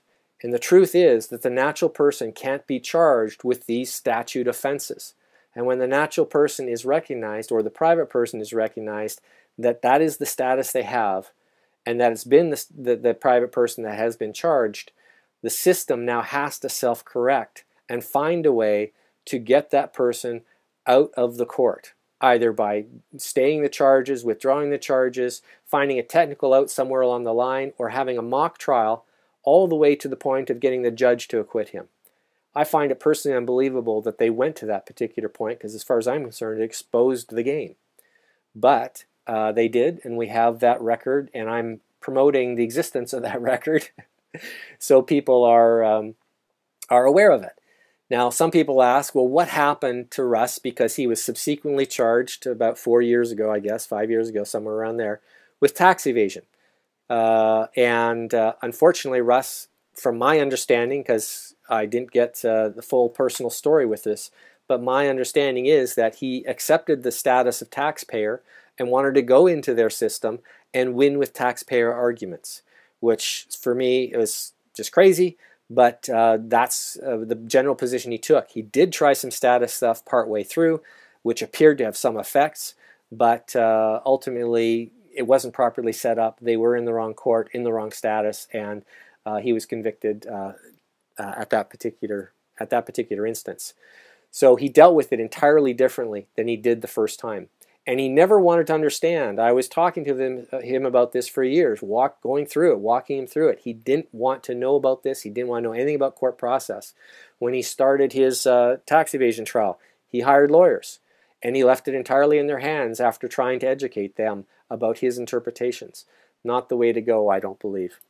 So um, uh, this is uh, Russ's information from the uh, from the first trial in 1999 2000 and you can see the uh, highlighted red areas you've got the coat of arms of British Columbia which is not the official coat of arms of British Columbia it is a um, a look-alike but if you compare it to the official coat of arms it is a only a look-alike made to appear similar and as far as I'm concerned deceptively so uh, and it's a full caps British Columbia they make it look upper and lowercase but it is actually full caps. Canada is in full uppercase. Province of British Columbia is in full uppercase. Those are different jurisdictional indications using capitis. And there's a distinction with capitis. Many times I've been in court and judges say, well, capitalization doesn't mean anything. Well, they're half right. It doesn't mean anything when they have a private person there. Because capitis diminutio is a, as a legal principle concept only exists in Roman civil law. So when you're dealing with a private person, capitalization is irrelevant. It is. But when they're playing in the Roman civil law world and they're trying to get you into the Roman civil law world, capitalization means everything. Because that's when they look at this paperwork, as you see here, yes, the principles are the same in every Commonwealth country. This is the same game everywhere. When you see the capitalization here, they are advertising to you. I am taking you into the artificial Canada. I am taking you into the prov province of British Columbia, the artificial one. Do you have anything to say about this? They are advertising the authority in their jurisdiction, and it's up to you to raise it. That's my interpretation of it. And you'll see here with account one uh, and count two and other counts, his uh, name was changed by handwriting by the judge to upper and lower case from the full uppercase, went from maxima to minima. And they are still playing this game, except when I walked into court and challenged the name, Russ walked into court and challenged the name, other people walked in and challenged the style of the name, they started correcting their paperwork. Summons started coming in minima within a year or so. Uh, the informations started to be in media, which is the last name fully capitalized only. So they have modified the procedures as we've pointed them out, but they have still defaulted to the maxima name or the media name uh, with all of their informations. And they will fight you and argue with you, threaten you, intimidate you if you raise it as an issue because they don't want to change it. Because they lose the ability to play their game, in my opinion, if they change it to the minimum name. And I have another case I'll be addressing shortly with regards to that. Those two issues, the jurisdictional issue with regards to cap, full cap Canada and province of British Columbia, and the style of the name uh, are everything advertising who they're bringing to court, who they want in court, and uh, jurisdiction. Now, this is a transcript. Um, by the way, Russ never ordered his transcripts. One of the guys, uh, one of my fellow researchers, asked me, "Has Russ ever ordered his transcripts?" I said, "No," and uh, so he went and he ordered them. He ordered every single transcript from the first time was called in court. And all the transcripts came in one batch at one time. And uh, so one order and every transcript came with it. This is why you see multiple dates here. And this is the style of the name that they have on the um, information. Excuse me. This is the, um, you see that in the Provincial Court of British Columbia is in full uppercase. You'll also notice that there's a square box around it. Law of boxing says anything in the box doesn't exist on the page, so that's something to consider might be in play here. The name uh, Regina, I believe, is the fiction name for uh, the crown, because when you're dealing at common law, it's Her Majesty in right of uh, uh British Columbia or in right of Canada, uh, and then of course his name in full uppercase. Now this is a transcript. This is less descriptive than the information, which is the charging document for the uh, court. It's the charging document, the information that the court is proceeding on, which is the most important document for the style to be represented correctly on. So if it's incorrect on here, it's less of an issue. But this was the transcript of his actual trial. This is the transcript of the hearings. Look at the style of province of British Columbia. But when it came to them trans transcribing the actual trial, they changed the style of the name Province, Provincial Court of British Columbia, and they added the word Canada to it. Now, this is very interesting to me. And it went from a box to a rounded corner box. Again, I don't know if that means anything, but just noticing differences. Now, if you order if you order transcripts and you're getting transcript 1 through 9 all at the same time, you would think that all of the cover pages would be the same, especially since they're all being transcribed by the exact same transcription company. But the trial transcript reflects a different style of type, different type style for the name of the court and for Canada. And the word Canada did not exist on the first transcripts. All right. So why have they added Canada and why have they changed it to this Old English? Well, I just happen to have a book on language in Old English, and as far as I understand, this is the representation of common law when they use Old English lettering. So watch for Old English lettering. They're advertising to you a common law matter. And you'll see this in various places. The other consideration is when you put them side by side, right, you go, hey, there's a big difference. One is in upper and lower case and one is full caps. Gee, you think there's a difference? Plus you got the Old English in there. Plus you've got the word Canada, it's not a word. It is actually letters spaced out. C space, A space, N space. That's not a word. That's a collection of letters that you are fully entitled to look at and go, there's a word. But in fact, it's just a collection of letters. So, you know, interesting distinction to make and to look for. Are they advertising? What are they advertising? I'm not quite sure, but I have my, uh, my opinions about it. Okay? So as you can see, that there are subtle advertisements, and that's what I refer to them as, where they are, who they are, what they're doing, who they're dealing with. And uh, it's your job to be very careful watching them. And when I talk to people about their paperwork and I go over their paperwork, I say, Did you notice? Notice the capitalization of the province of British Columbia. Oh, no, I didn't. I, why don't I? We're not used to looking for it. So it's just a matter of uh, reminding yourself to look at it. Now, there is an Ontario case that went on in 2013. Um, there's a question here what if the judge gets all mean and says, uh, if you argue type thing? Well, yes. If they get all mean, that means you've hit the nail on the head and they want you to get off of it. And this is part of what I'm going to address right now is they are not just threatening people, not just getting intimidated, intimidating, they are actually um, putting people in jail in British Columbia and uh, in Ontario who raise this particular issue. And it's the way that they're doing it, which again exposes the game and what they're doing. So there's an Ontario case where a gentleman showed up, challenged the name that was on it, and he was arrested for failing to appear while, while he was in court attending. Now there's a difference between appearing in court and attending. The summons actually says, in Her Majesty's name, you are commanded to attend court. And then when you get to court, they want you to appear for the name on the information. And that's a transition from the real to the fiction. That's a transition from the private person attending court to becoming liable for the artificial person that's on the information. Um, so the he he attended court. He's standing in court. He's addressing the matter when it was called. So he's fulfilling the requirements of attending. They had him physically removed from the courtroom.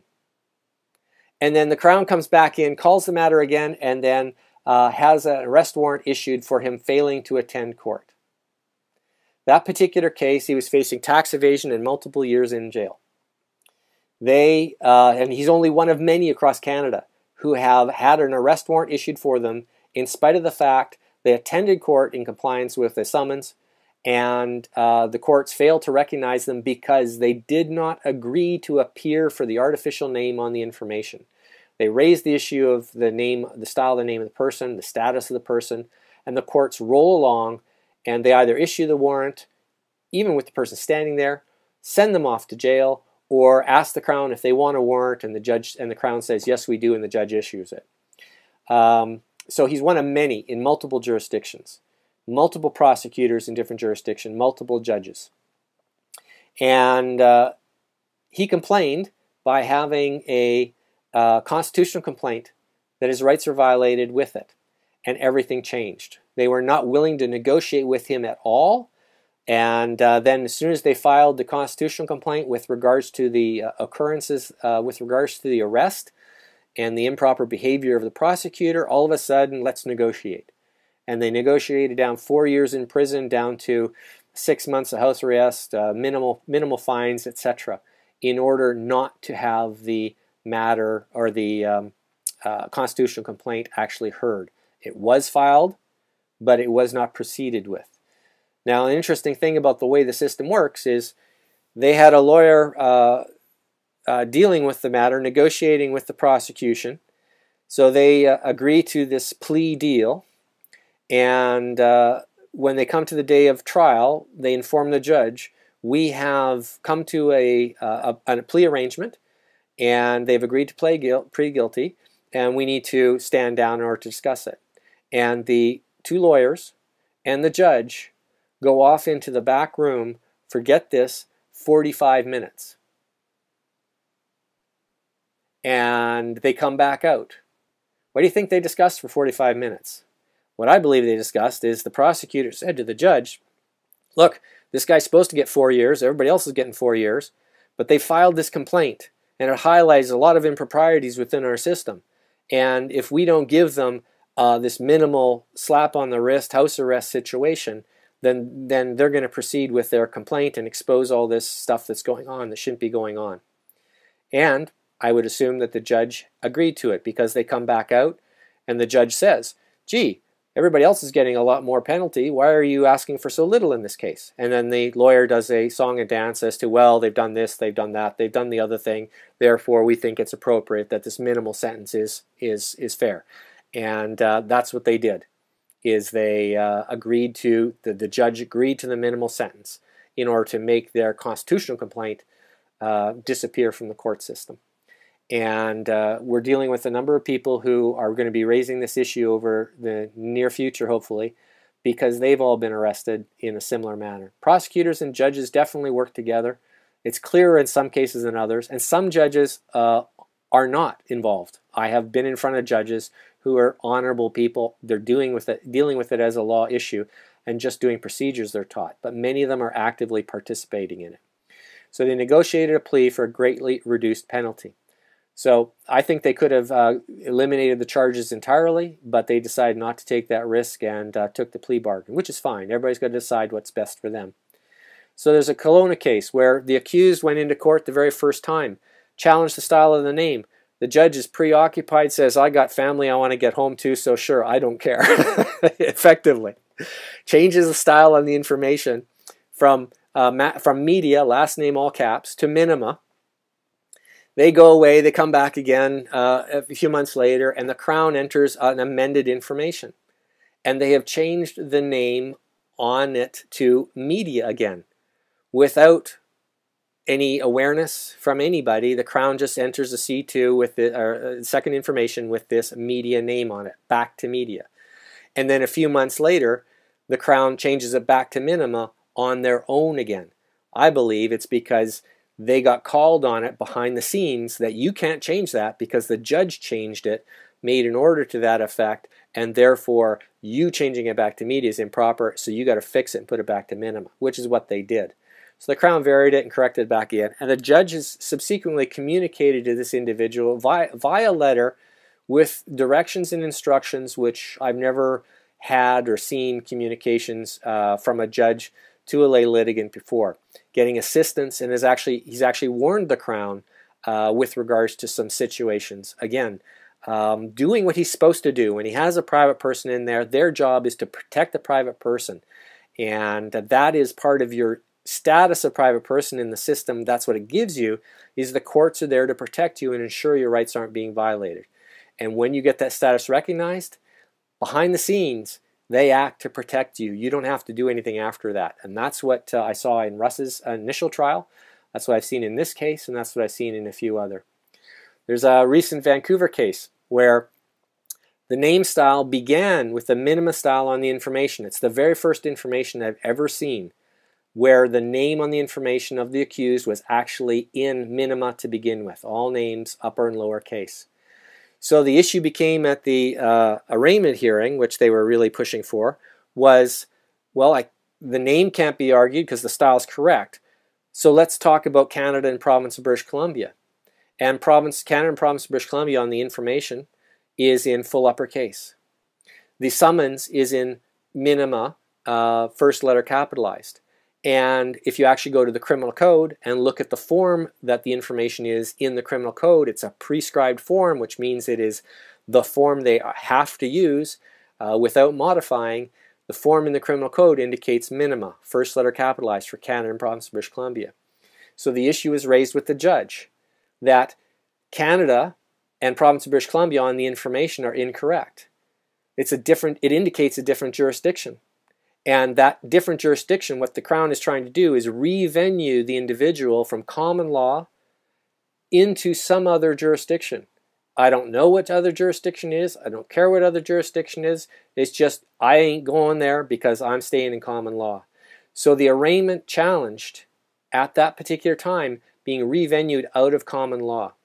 The judge then made an offer after uh, this all occurred to personally negotiate with the individual a settlement between between uh, it's a tax evasion charge uh, between the tax uh, uh between the prosecutor and uh, and the individual. I've never seen nor heard of a judge making an offer to personally negotiate with an individual um, at any point in time. Never mind uh, at that stage of proceedings. And the revenue issue is being applied in other cases that are presently before the courts, so there's going to be more progress on that in the future and understanding of that. But my belief is that they advertised they were taking the individual from common law into another jurisdiction. They pointed it out. They said, that's what I believe that means. I do not consent to that, and, and I believe that uh, it's improper to do so. And the individual said, I cannot consent to, um, what was the phrase? Um, cannot consent to being revenued. Um, I don't remember the, the exact phrase that was used, but uh, the whole idea changed the dynamics at the end with the judge making an offer to the individual to uh, to settle the matter. And again, unheard of with regards to a federal crown prosecution in provincial court on a tax evasion charge. Uh, interesting. So it's all a game. Learn the rules of the game and your role in the game. And that, for me, is private person at common law, and I'm sticking to it. Be honorable in your actions. Don't be threatening. Don't be, uh, you know, abusive or anything else. It's not necessary. You stay in honor. Uh, they go into dishonor. They lose. There's uh, uh an entire course on um, uh, private-person.com about communicating uh, honorably. Complaining about rule breakers. One of your obligations at common law is to report lawbreakers. That's part of your job. It's not just to keep the peace yourself. It's to participate in the keeping the peace by reporting and being a witness against somebody who steals something, harms an individual or property, etc. That's part of our responsibility to keep the peace, is to report peace breakers, whether it's a it's a physical or it's other type of abuse that goes on. And when anybody's not obeying the law, that's not keeping the peace. It's our job to report it. And we haven't been fulfilling our obligation to report uh, these uh, improper actions and hold uh, the lawyers and the judges and civil servants and police officers and whoever else to account. So you need to understand your action before you act. Before you act. I got into trouble, painted a, uh, a bullseye on my back way back in the early days by sending a letter that somebody else had written uh, uh, refusing to pay GST because that was their understanding at the time, and that just, you know, down the rabbit hole I went. Um, I didn't fully understand it. I used somebody else's understanding, and I paid the price for it uh, in many ways. Um, seek confirmation of the rules. Confirmation by watching what people do, seeing the reactions, interpreting the reactions.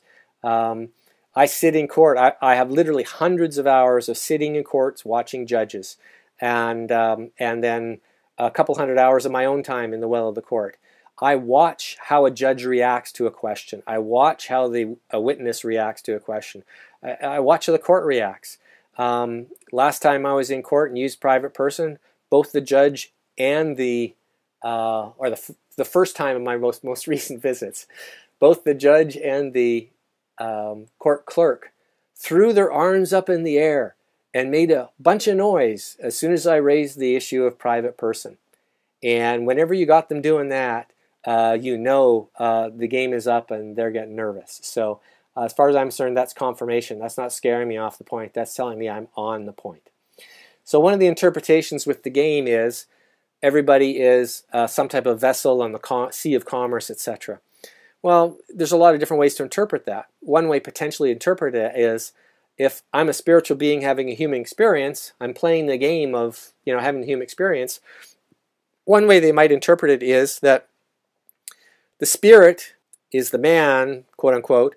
The body is, you know, part of the earth. And when you combine the two, you've incorporated the two. It's now a corporation, it's now a vessel. And they're trying to claim jurisdiction over that vessel, possibly. There's lots, there's some philosophical, there's some, uh, a whole bunch of different ways of looking at it.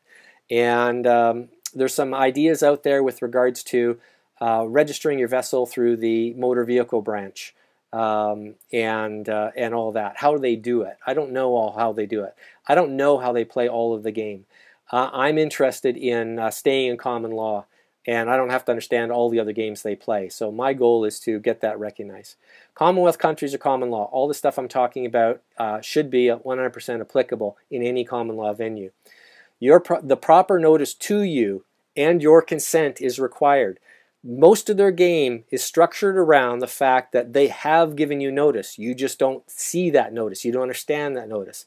And they give the impression or they make the assumption, presumption, you have given your consent. As soon as you notify them, you haven't gotten proper notice.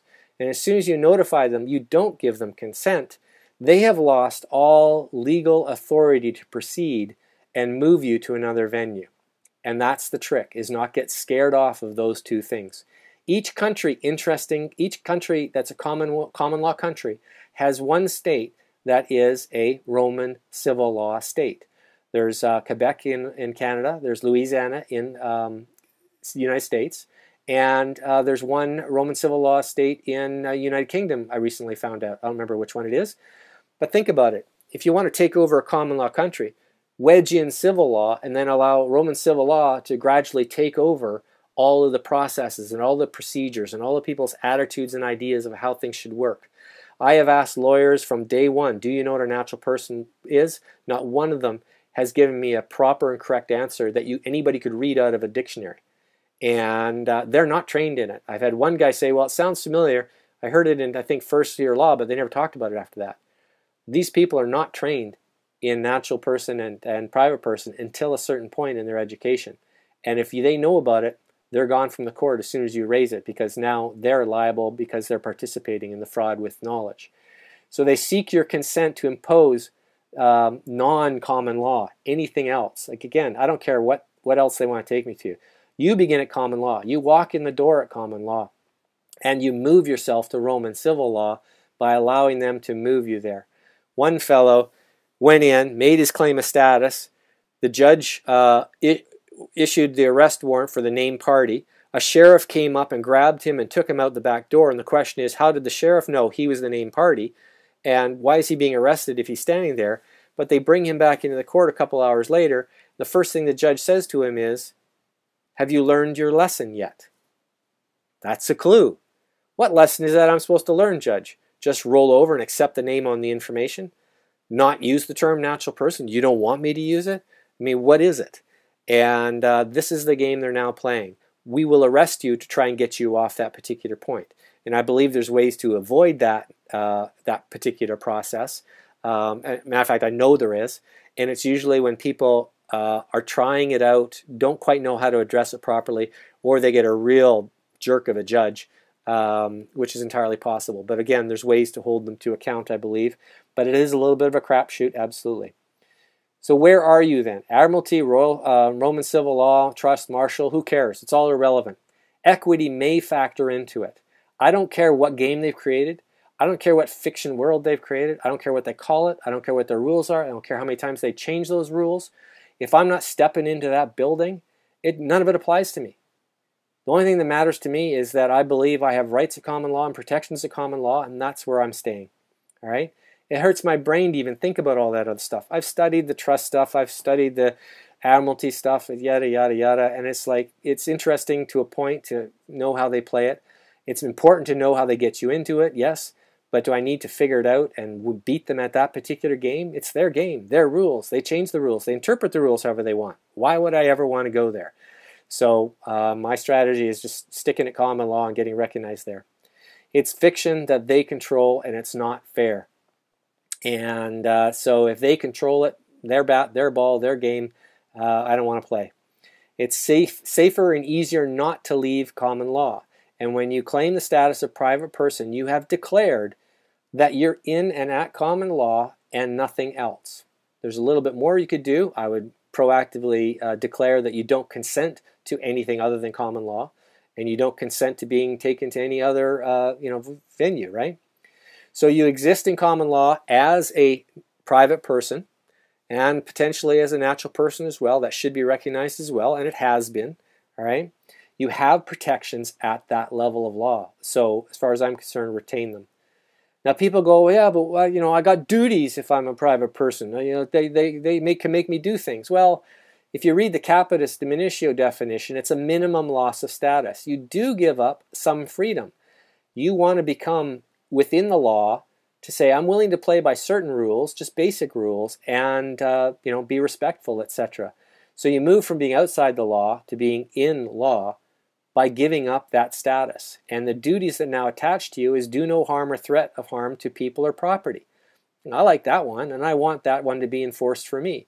Because when somebody comes into, t- when those outlaws come into town and uh, you know hurt me or take my stuff, the sheriff goes out and tries to catch them and get my stuff back and then also take them to court and prosecute them so they don't come do it again. That's the protection of common law. The law will go out and try and eliminate the outlaws from coming and hurting you. Um, and uh, that's a good thing as far as I'm concerned. Golden rule: if you live by the golden rule and you don't do any th harm or threat of harm, hey, it's all good. Keep the peace and report peacemakers. We have not been reporting the peacebreakers. The lawyers and judges, which is a self-regulated uh, forum, they don't have any outside regulations, uh, needs to be reined back in and uh, they need to be reported. If you disagree with what a judge has done, how he has behaved in the courtroom, he's yelled at you, he's intimidated you, he's threatened you, make a complaint to the Judicial Council that uh, you can make a complaint to. Uh, you can't complain about their decision to the Judicial Council, but you can complain about their behavior. Have it evidenced by transcript, have it evidenced by witness, and uh, they get a black mark on their record. They get enough of those, they got a problem. Same thing with a lawyer. If we're not complaining on the record, then we have given them permission to do it to us again and again and to do it to everybody else. We can't be afraid of these people. We need to use the complaint processes properly. And again, I have a course on your complaint is their restraint um, on the on the um, on the website. So your minimum loss of status um, is your rights, your privacy, property, and contract protections. The courts are there to to mitigate these things to be a neutral referee in these things for you, and you get the protection of the arm of the law. You get access to the courts, and the law will enforce your judgments uh, to a certain degree, anyways, um, with regards to uh, the complaints that you bring at this level of law. Now, um, you need the standing to seek the remedy, which is, uh, again, to my mind, private person is the standing at common law to access that. Now, how they're winning right now is you don't know who you are in law. You don't know which status. People are saying, I don't want to play at all. I want to be a human being. I want a man. You can't have me at all. Well, they don't recognize that. They've got a they got a level of law that they're going to drag you into, and it's going to be their game unless you uh, choose common law. In my opinion, you don't know the game. You don't know how court works. I mean, what's the chance of you winning? You don't know the rules. What's the chance of you winning? It's it's all stacked against you. You don't know how to communicate in an honorable fashion, asking questions and basically binding them by the questions you ask and uh, um, and the things, the minimal things that you do claim. You don't need to claim very much, and you shouldn't claim very much. You don't know how, where, or when to complain, and we need to know. We need to learn how, when, and where to complain, which means making a legal complaint uh, as well as making a uh, ethical complaint to any associations these people are a part of.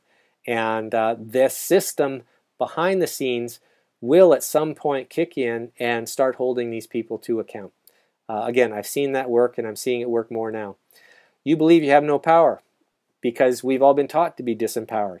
So again, none of us stand a chance. And this is the state. This was the state of things when I started court for me, and it's been a long road. and I don't have the answers to all of it, and I don't know all of this stuff, but I, I know enough of it to uh, stay out of as much as possible. so how you in is know who you are in law and which law. I'm a private person in common law. That's it. And uh, um, know that that you know the control games in common law and Ro Roman civil law. Uh, how to control them with common law, how they might try and control you with Roman civil law. You need to know what the tricks and traps are. And again, there's not a lot. It's just principle-based stuff. Know the basic rules. Know how to communicate honorably. How, where, when to complain and uh, know you have the power in common law, so stay there. Again, that's my conclusion, that's my interpretation, and that's what I'm doing. Uh, I encourage you to investigate that more fully. Some people think we live in a pr prison planet. Eh, yeah, quite possibly, because they're doing all these things. They're dumbing us down, they're keeping us in fear and afraid of authority, they're making us sick with food, chemicals, drugs, they're keeping us sick by practicing medicine. Not all medicine's bad, but uh, you know a lot of it out there is keep a high stress rate in, in our daily lives. It all, you know, adds to it. Convincing everybody we're powerless and that all power and answers are outside of ourselves. This is the major control system that's in place right now, and we need to reverse it. There's a lot of this going on literally across the world from all levels. We're now seeing the fiction games for what they are. We got to end the fear, the stinking thinking, and the question authority, and question authority as a result of that eat clean food, no chemicals, no drugs, use caution with modern medicine, reduce stress, and know that you're powerful and use your power for good. Be a witness. The most powerful thing we can do is be a witness for people when they go to court and then by filing complaints as witnesses when these people are not acting properly. A judge's duty on the bench is to maintain the decorum in the courtroom, not enter the fray, not raise the emotion of the courtroom. And if they are yelling, screaming, uh, uh, interfering in any way, threatening you, they have broken their ethical behavior boundaries. And your complaint evidenced uh, will cause them a serious problem. Your objection in the moment and describing exactly what they did so that there's a written record of what you saw, experienced, and felt will stop them from doing you stop them from doing it at the time and give you the evidence to make a complaint with. Very, very powerful to be a witness and make a record of it. We want proof. Everybody wants proof. I want to see a case law that says this stuff. Well, guess what? You're not going to get it. They're not going to put it in black and white on the record. You're going to have to uh, interpret actions. You're going to have to interpret the way that things are stated. To have to interpret the fact that they don't follow through with cases, etc. Can you lose and still win? Well, yeah, there's people who have uh, admitted to very minor things in order to end the bigger issues, and it allows them to get off the hook and you get on with your life and you know if you've done a good job of causing them problems they may not bother you again they leave you alone and settle the mess last minute uh, if you if you cause them enough problems, they will leave you alone. And the way they will prove that you're right is they will settle with you on the courthouse steps and uh, and not allow it to get to court. Or like in Prieske's case, they'll have an entire fake trial. I mean, it was done the first day, yet they had to play it out, try and bring him back in, never succeeded, and then they had to have that fake trial for um, for it to proceed from there. They're all puzzle pieces that paint a picture. So proper notice is key. Consent is key. Threats and intimidation is the tools that they use. They, they have given you notice, you just haven't seen it in the way that you think you should. They imply consent and they use threats and intimidation. It's the appearance of consent that's all they need in order to proceed. Don't give it to them. Make it clear there is no appearance of consent. You're the power, the real, they are the fiction. Do you know your power really? And that's the point of this presentation is to try and show you the power you have as a private person in common law. I believe there is a rule of law, and they are guided by it. Uh, they they seem to break it all the time. I agree. It's getting worse right now, but the more public it becomes that they are breaking it, the more obvious it becomes, the more people complain about it. That is the only thing that's going to hold them accountable to it. They will obey it when pushed to, and we need to push them to obey it, not through violence, but through proper complaint processes and legal challenges and uh, lawsuits against the individual um, instigators of it. The appearance of justice most of the time is what they offer, not real justice. Justice exists when the power, the real, speaks to them with authority. Only the private person can speak to the court with real authority that they have to listen to. And uh, that's, I think, the best chance for justice. And justice will come when they fear exposure. They're getting more and more exposure that what they're doing and how they're doing it is wrong. That's what I'm doing, many other people are doing all across the world. The exposure is happening, and we need to step it up. And justice will continue if we are vigilant after the fact. We can't just go back to sleep after we get them learning to do things properly again. Uh, there has to be ongoing vigilance with regards to it. So the principles of all of this is that there are two parallel systems. Both work. The common law system still exists. It still functions. But they don't want you to use it, and it's waiting for anybody who triggers it. Everything they do is presumption only. You question the presumptions. They maintain power via intimidation. They will self correct when pushed to do so. You have always had the power to stand up. You must object and evidence the complaint. These are the things that uh, can you need to understand at a principle level. If you understand these principles, if you come to the point of believing these principles, and I'm not saying you have to, but your research needs to uh, be done in order to convince yourself, um, there's a chance. So there is a Hope for Justice course on privateperson.com, and it is private-person.com is the uh, web address. There is a Hope for Justice course, uh, course called Do Common Law Courts Exist? And that is where I go over the Capitis as well as the Priesky and other related matters where I believe I demonstrate that uh, common law courts do exist and operate. The Hope for Justice in Action course is about the communicating in honor. It's uh, honor and dishonor and uh, conditional acceptance which are recognized processes, which we have a number of successful results on that particular uh, um, course with regards to that. And it is what appears to be how the system functions and operates. Very important, valuable stuff. And it's not just about law, it's general life uh, principles. It's very good stuff. Your complaint is their restraint. This was the principle that you have to complain to restrain them. Your failure to complain in the moment and after the fact gives them permission to continue. And it is really just the bully syndrome. They are bullies, they need to be stood up to. How to file complaints, charges, and lawsuits. So if you want to continue education, those three courses are there. The first one is uh, wide open to members. The second two is by donation and uh, helps me, um, uh, you know, pay the bills. Many articles and free webinars on the website. I encourage you to check them out. I do have some courses uh, that are sitting on the hard drive and in planning stages. How and why to get a private bank account. Private banking does exist in Canada. Uh, there is no requirement whatsoever to provide identification. The only thing you need is a signature. It is in the law. It is there. They just don't want you to access it. Uh, the process is all laid out, and it's a matter, again, of holding them accountable to what the law actually says instead of allowing them to get away with what they're getting away with. And um, I'm hoping to gather a group of proactive people who want to go to banks and uh, create the challenges necessary in lawful, polite ways to uh, uh force them to obey the law. Right? laying complaints against they. There's a part two. The, the complaint is there, restraint is there. There's a part two coming as those complaints go through uh, actual court process. Doing private business. Uh, I operate privately, always have, and uh, that's our right. And this is where the tax evasion course, uh, court processes come in right now. Is uh, they claim that you have no right to operate privately whatsoever. Any money you receive uh, with regards to any type of private, pri private business is is their money. Uh, that's a big issue for me, which we'll be pursuing. As any suggestions or recommendations, you're welcome to make them. I'm open to discussing stuff. If anybody's got a um, a course uh, that they've put together, I do invite other present present courses, and I'll host it, host the webinar as well as host it on the website program. Um, and um, and that's a that's an invitation out to to all of you. So uh, I've gone a little bit longer than I expected with regards to the presentation, and I'm going to be looking at the uh, questions, and I'm going to ask um, uh, Glenn to come back in here and any comments or uh, questions or uh, points. By the way, I'm committed to finding the right answer, not necessarily being right.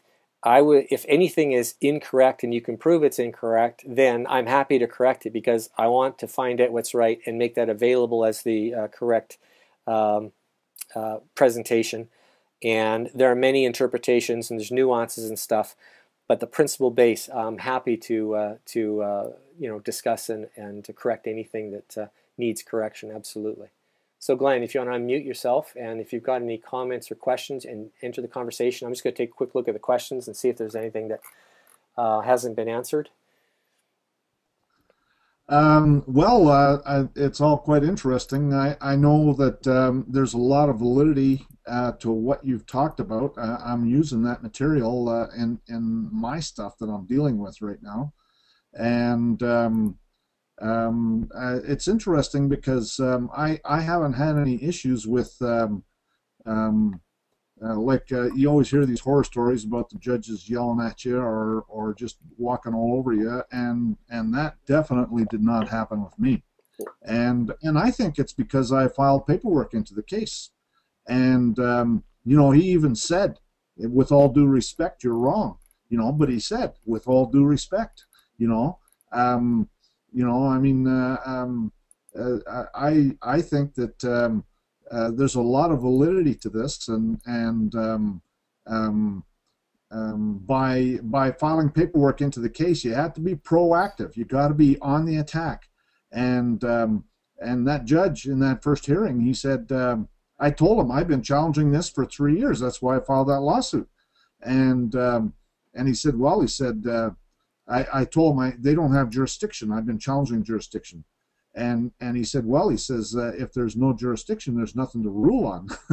well, yeah, that's a, that's exactly the point. yeah. Now you, you, you've, by filing paperwork, you've also in your paperwork made status claims, which is putting notice to the court. And a lot of your paperwork is aggressive in nature, which means that you're putting them on notice. You're not going to put up with their crap and you're willing to yeah. stand your ground. And that's what they're looking for is they're looking for people they can push around. And you've advertised to them that you're not willing to be pushed around, so they are cautious because they know you'll speak out. All right. they don't want to be called right. on their bad behavior. And most people, yeah, no most people, I mean, my the joke I, I put on myself in uh, the beginning when I finished my first uh, trial process was I wasn't objectionable enough. I did not object to all the instances where the the judge acted improperly because I've been trained to be nice and not to you know speak back to authority and all that other sort of stuff, right? And right. we have to point out on the record and describe what they did and how we found it objectionable. That's our right, that's our obligation, and that's what will rein them in. And you do that with your paperwork up front, absolutely, yeah. Well, and I think that's a great idea of of saying uh, uh, on and for the record, let the record show that the judge just yelled at me. You know what I mean? And that the judge is intimidating me, and that the judge has prejudged this case and already decided it. So let's uh, why don't we just get the lynch mob out? You know what I mean? Absolutely. I mean, uh, the, the, the first the first part the first part is the part that would be reviewed as to the judge's behavior. As soon as you get into the opinion and judgment about that behavior, eh, that's kind of a secondary issue, which, uh, to my mind, if you do file a complaint, um, that's where the honorable that's where the, the honorable stance and we and with regards to your paperwork, the more honorable you are, the worse they look. And uh, so I would pull it back a bit and just point out what they did wrong and that they've gone into dishonor doing it. They're not supposed to enter the fray by bringing that emotion to it. So uh, stick to the facts and uh, point out their obligation to obey the uh, ethics or principles or, or the legislation that guides them. That's all you need in a complaint. And as soon as you get to anything else, uh, they get a chance to find gray areas or uh, write it off. So uh, I've tried to yeah, I've tried to simplify my paperwork. I try to get everything down to one or two pages. yeah, and I understand what you're doing, and um, you know, quite frankly, my attitude is, is I don't want to be there. Uh, they attack me, and I'm going to make it their worst nightmare. Right. And uh, right now, and, you're and, they're you know that may not be they, that may not be 100 percent correct, but I can't tell you how many people I've had removed because of that. Um, and um, um, you know, at any rate, I um, I have a different approach. There's no doubt about it. Yeah. Now there, uh, there's there's a case that addresses that particular issue.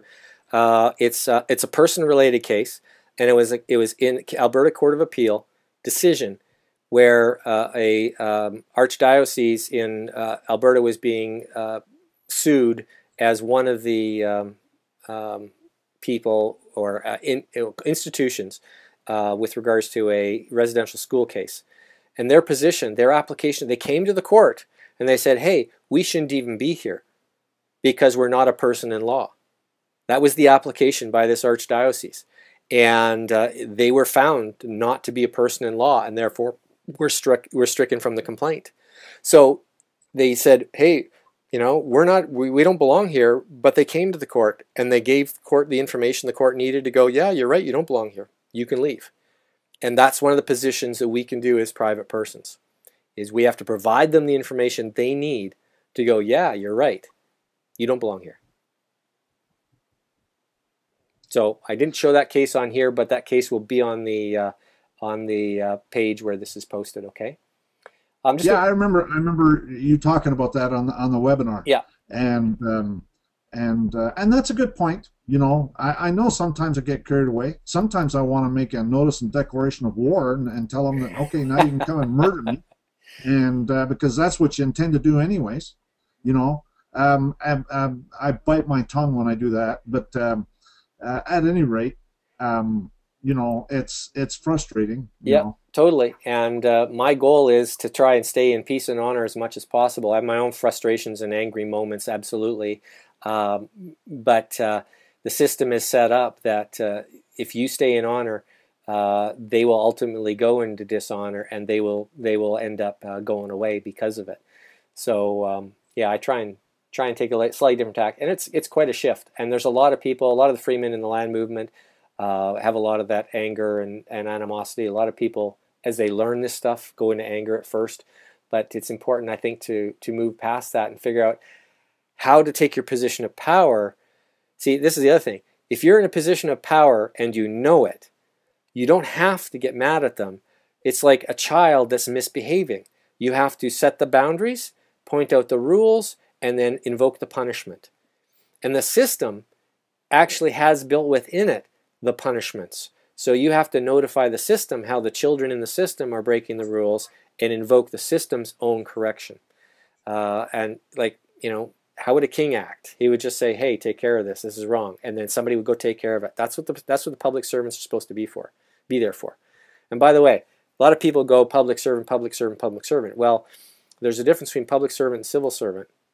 And if nobody has an oath of office that's actually sworn, signed, sworn, sealed, and filed, those public offices are not actually being um, inhabited. They're being dealt with or taken care of by somebody who's been assigned to do the job, but there's nobody who's taken an oath to actually hold it at law. So they may not be public servants. They may be just people doing the public servant's job, and therefore they have a different obligation at law. So there's a whole, there's layer upon layer upon layer um, as to how to hold them to account. Um, but I like, uh, uh personally, again, the private person aspect. Um, let's see.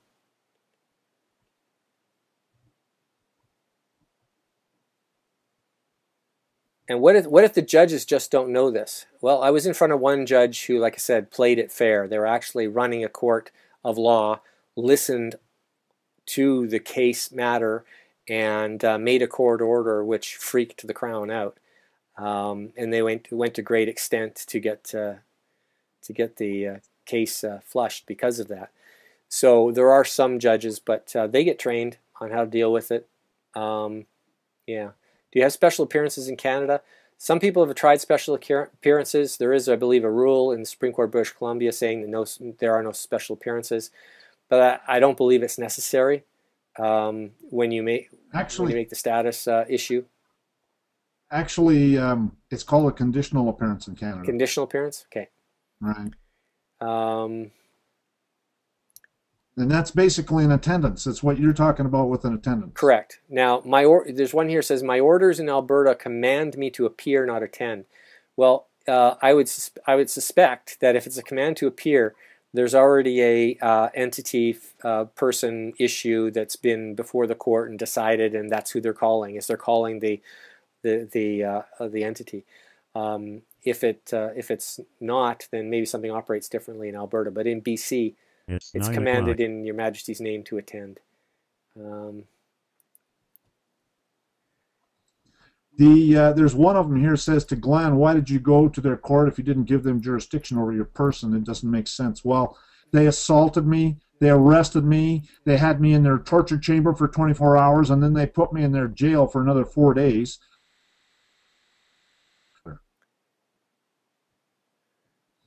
Um, there's one here under martial law. Can you claim common law? Actually, the judges all wear more than one hat.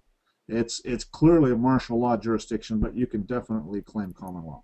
Yeah, um, I, I martial martial law is supposed to be a declared condition, I believe. But the, again, for me, uh, they may be playing by martial law rules, but you don't have to consent to it because everything they do indicates they need your consent they're always asking you to agree. They're always asking you to participate. They're always asking, asking, asking, which means that you have the right to say no.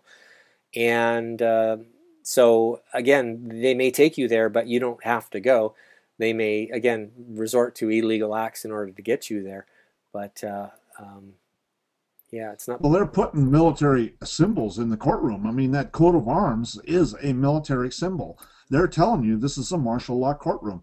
Now, now you're you're uh, talking uh, Roman civil law. Well, martial law and Roman civil law are basically the same thing.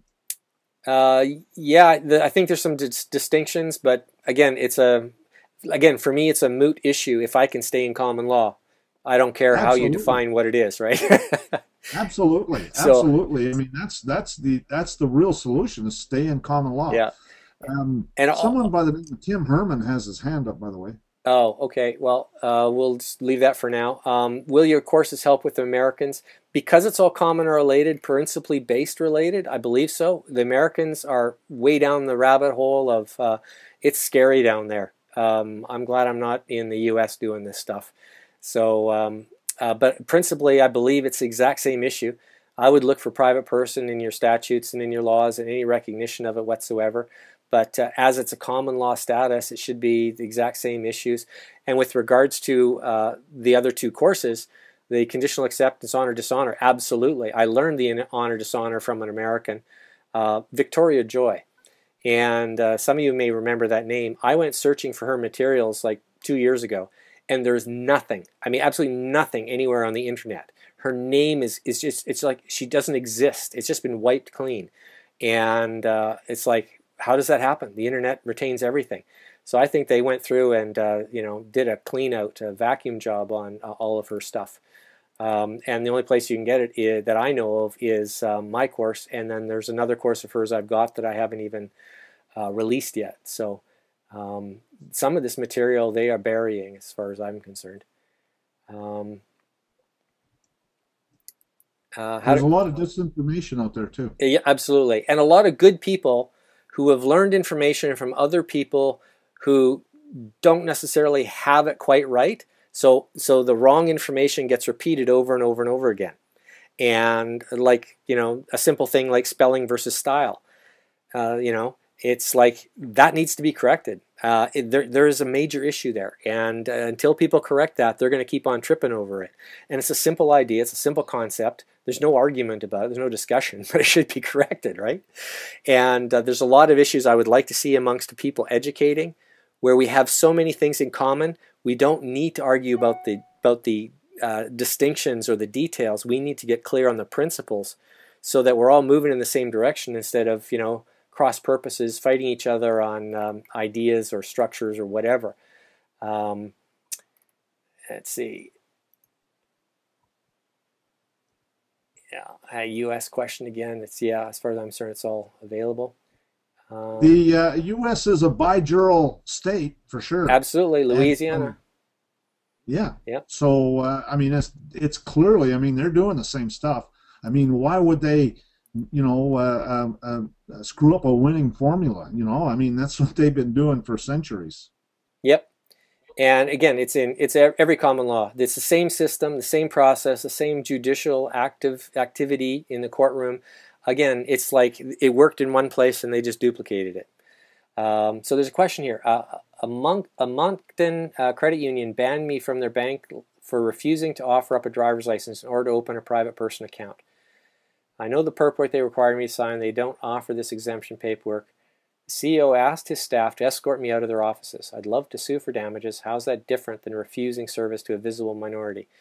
Well, I've got a whole case or a whole course already done on opening a private bank account, and I haven't had the motivation to actually finish it and do a webinar. This is the first webinar I've done for quite a while, and it's there's a lot of work, a lot of time, um, and effort that goes into this, and uh, so uh, the bank one I'm going to be asking for a donation on uh, in order to you know pay the bills because the the bills didn't get paid last month and uh, that's unfortunate. That's the reality for a lot of us guys doing all this research. Um, but uh, um, the bank one again, I think it's I think it's a key issue.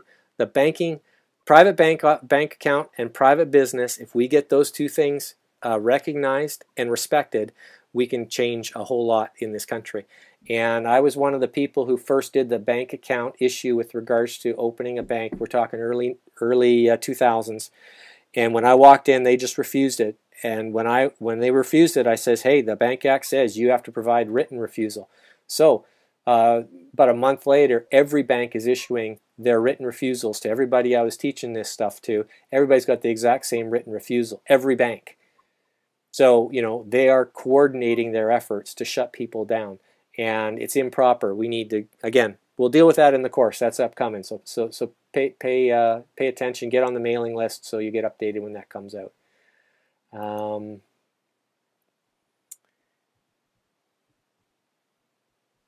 there's a question here about if there's an IRS conviction that has matured for 10 years, is there a remedy available for prosecutorial misconduct which will resolve the black mark taboo that wears one one wears?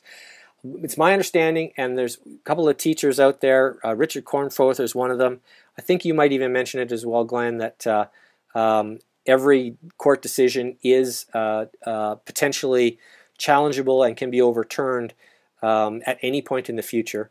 And one of the issues is if there's any element of fraud. Fraud is always an action that's available for um, for investigation. So void uh, judgments. Any any kind of void judgment. Yeah. yeah. So I think you again, it's a process of telling you. You can attack a void judgment collaterally at any time, at any place. Right. Um, and uh, and if they don't have jurisdiction, then it's a void judgment. It's not voidable; it's just void. And I just filed a notice of void judgment into into this case that I'm involved in. Right. Again, and that's another reason why I really wanted to connect with you, Glenn, was because you're so proactive with paperwork. A lot of people t- teach stuff and don't follow through. And you're somebody who teaches and follows through. And we need people who have the principles right and follow through with the right processes. And uh, I think you're, you know, the what you do with some modification is going to be extremely powerful and make a big difference. So I'm looking forward to working with you on getting some actions uh, uh, moving forward. And uh, there's a question here about uh, I gather that you have a definition example what honorable means as judges are called the honorable judge. Uh, well, they have their, their interpretation of the impression of honor in their system.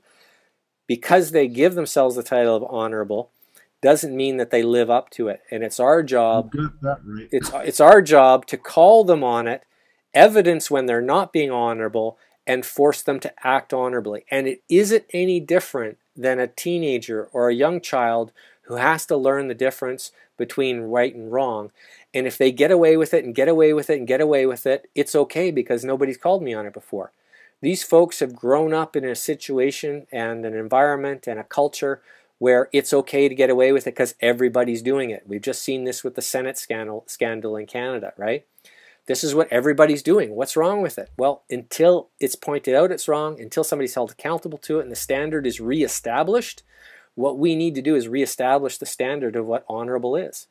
And uh, that's up to us as individuals to uh, take these guys to task for that and say, you're not being if honorable. If they're walking on you, if they're yelling at you, if they're intimidating you, if they're uh, uh, uh, uh, just taking jurisdiction, doing anything arbitrary, helping the crown. That's none of that's honorable. And um, and and again, JD's got a great idea. You just say for on and uh, uh, on and for the record, let the record show that the judge is doing this and the judge is doing that, and and and I guarantee you that you're going to have something that you can just order the transcript and and you can break it off in their butt. Absolutely, absolutely. I've been in appeal courts, and the courts will, you know, they'll listen to the person complain from the podium as to what the judge did, and, and, and so on, and they'll they'll be flipping the transcripts, and they're going, transcript doesn't reflect that. That's their only answer. Transcript doesn't reflect that, and so if you didn't put it on the transcript, it never happened. That's why your immediate objection and description of exactly what occurred and how it made you feel is what will reflect in the transcript. And once you do that, the judge is going to be a good boy because uh, you've proven yourself willing and able to stand up to the bullying, and it makes them look bad, and they don't want to go there. Okay. You, you, in my opinion, I mean, it ruins their careers. You file a complaint against these judges, and, and their upward mobility is gone, and uh, and and too many complaints, and they they find out.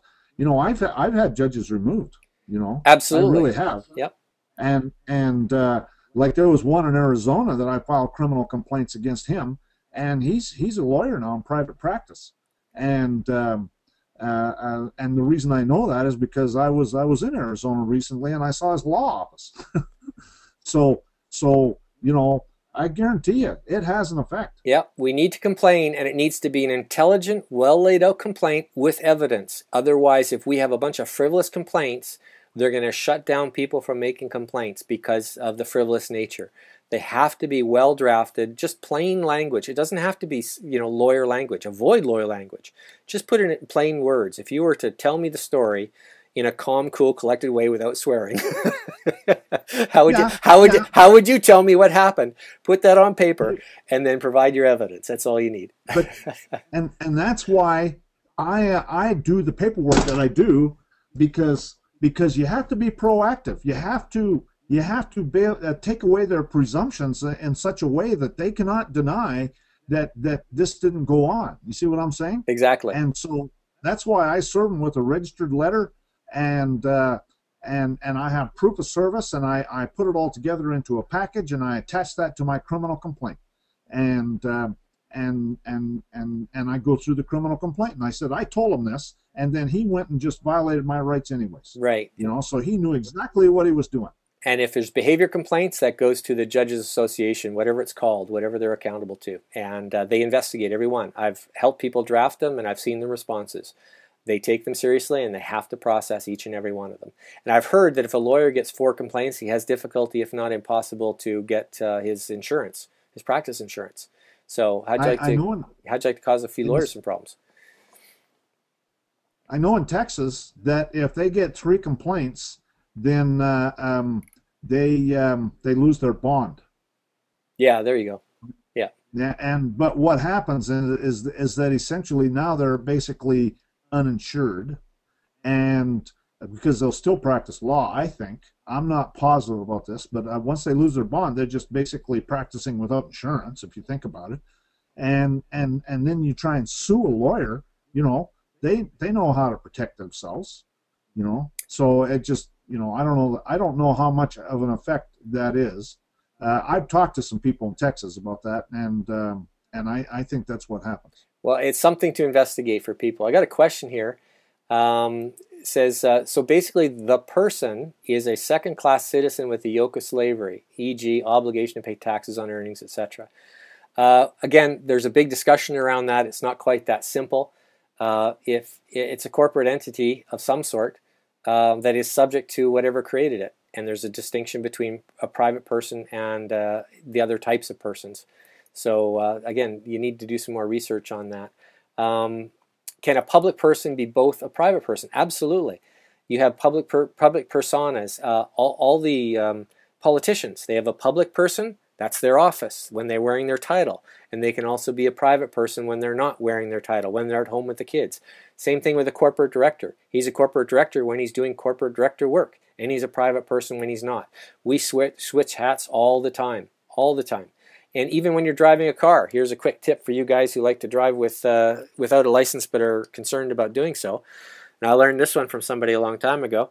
Guy handed over his driver's license, and uh, the a police officer goes, "Is this you?" Pointing at the picture on the license, and the guy goes, "No, this is me," and he points at his face because they're trying to the, the, the, the, officer is trying to claim jurisdiction over the person on the license. He can't claim jurisdiction over you, the human. So, and the other way to do it is to hand over the driver's license and say, I'm providing this to you because you demanded it. It's not my property. It says so on the back, and I'm supposed to supposed to give it to to an officer if they demand it. And it is uh, uh, I'm not involved in any commercial activity at the moment, and um, uh, this is only as a proof of competency. And that qualifies every reason why you're giving it to them. I'm not giving it to you as one of your persons. I'm only giving it to you to prove that I that I qualified at a test to drive this car in a safe manner, which is your common law duty. So again, there's all sorts of things that you can do to qualify situations without getting into a big argument or discussion or fight with people. That's not a good place to do it on the side of the road. Um, and you're you're giving them notice there with that type of notice that you're a private person in that moment. You're not acting as a public person, a driver. Um, and that's what that notice is supposed to be about. Will it work? Who knows? But uh, that's the principle behind it. Um, that's actually a good point. Yeah, and that, that, when you go to court, you do it. When you're with the when you're with the police officer, you do it. Anywhere, anywhere. I'm I'm engaged in private activity, right?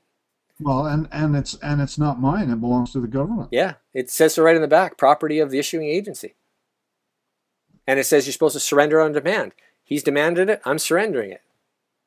You going to keep it now? okay, and I'm not involved in commercial activity. I'm only because when I went when I went for a driver's license about well, 10 years ago, I went and did my competency test because I was going for a, uh, a, a, not just a renewal but uh, a different class of license. You go and you do the road test. They give you a document where you pass your road test, and then you take your document in and then you apply for your license.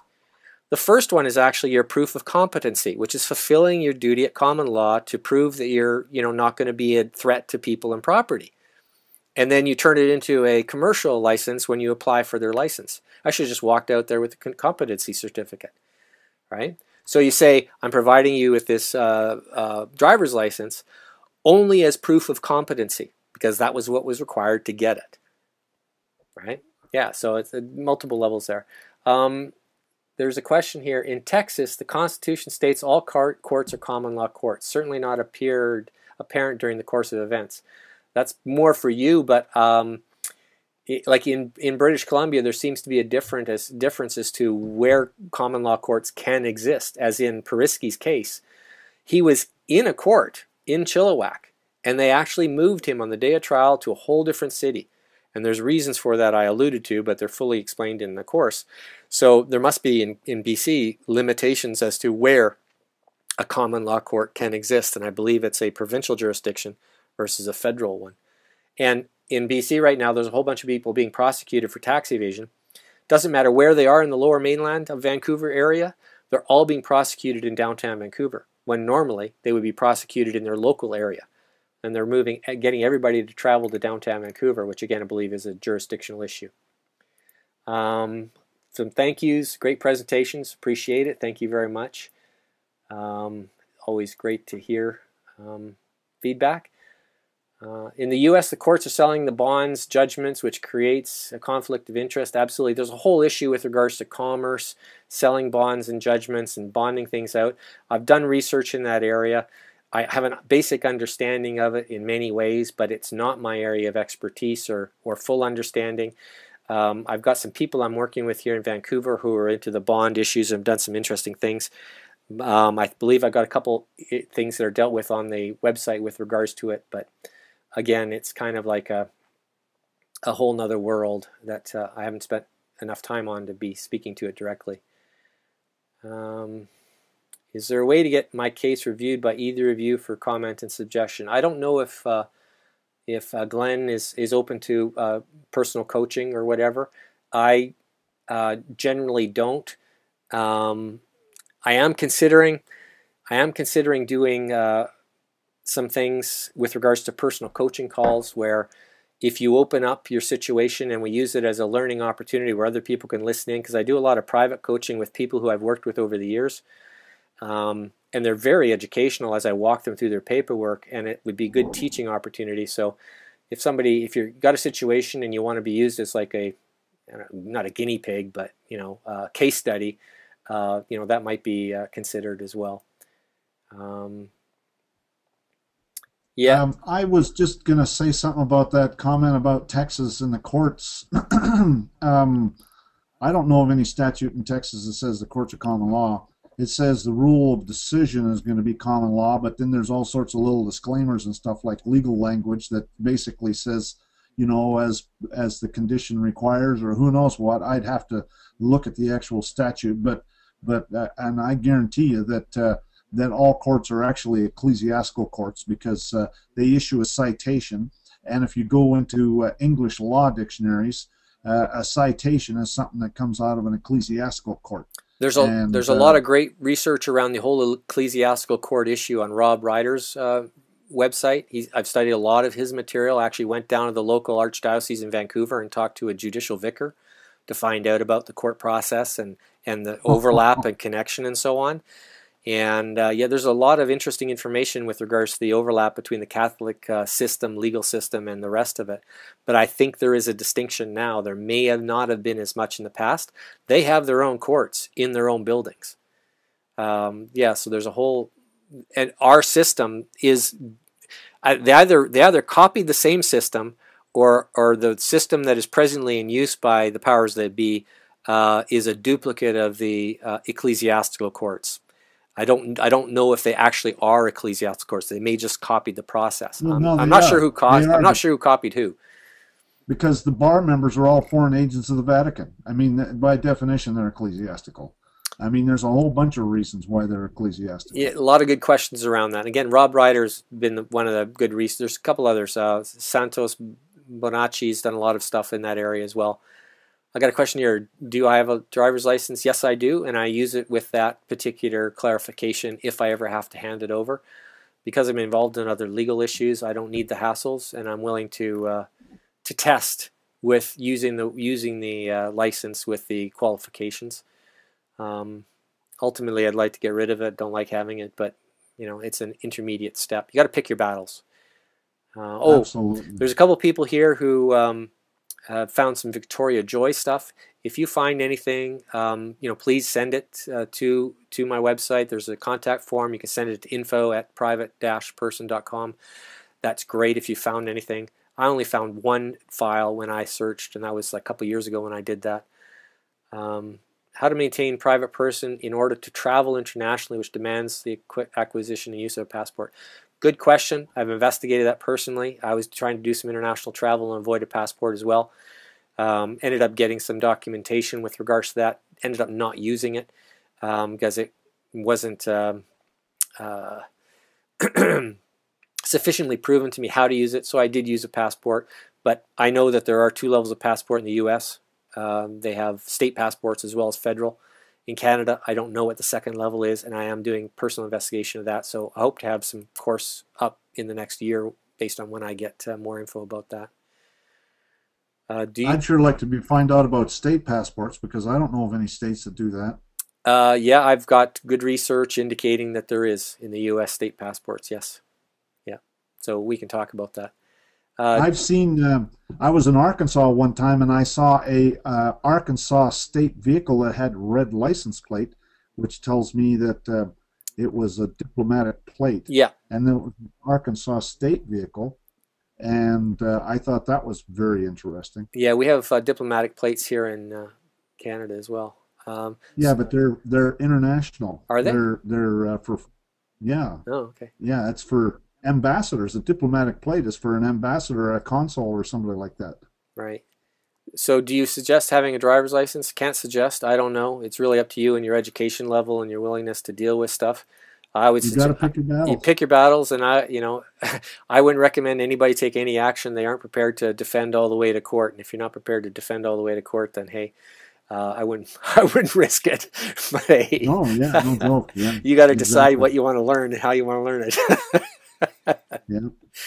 Uh, Glenn, there's somebody there uh, that wants to talk to you. Um? Um, home run. Home run. Yeah. Uh, um, okay. There are people who have done no registration uh, tests here in British Columbia, no insurance, no registration, and no title. Um, it hasn't been properly uh, documented and, and put into course format like I like to see. So it's not something that uh, I believe there's a, a, relatively easy process. But again, everything comes down to defending it. You may be 100% right, but if you don't know how to defend it, you still lose. So, um, are you aware if there are common law courts in province of British Columbia? I would expect there are because it's a common law province. It still has to exist. Uh, and again, the common law, again, my perception is that the private person walking in, claiming that status, claiming common law, determines the court. It's not determined by the judge, it's determined by the parties. In every case, when the parties come before the judge, they inform the judge what type of law he's going to be adjudicating that day. And, you know, it goes from there. So, and be, the common law private person is the highest form of law, therefore, as far as I understand, sets the law by claiming that law. Everything is a derivative and and uh, you know built off of common law. Um, can you access common law court of appeal BC? I'm not sure because it's a statutory court. The only constitutionally created courts which are of common law that exist in British Columbia are the county court and the Supreme Court of British Columbia. That information is covered in the Do Common Law Courts Exist, so I'd encourage you to go through that. Um, great, another link for Victoria Joy. Um, somebody says to look at the Texas Constitution about common law. Yeah, there's all there is is a, a statute that says that uh, the rule of decision is going to be common law, but it's got lots of uh, little disclaimers and stuff that the lawyers like to put in that kind of stuff. Um, send me an email somebody's got a comment here, please contact me about the test or teaching case review.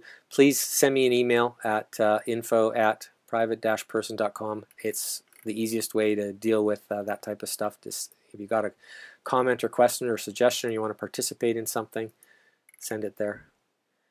Have you heard of the, heard of the Embassy of Heaven's driver's license plate? Yeah, I've heard about that stuff. I looked into it.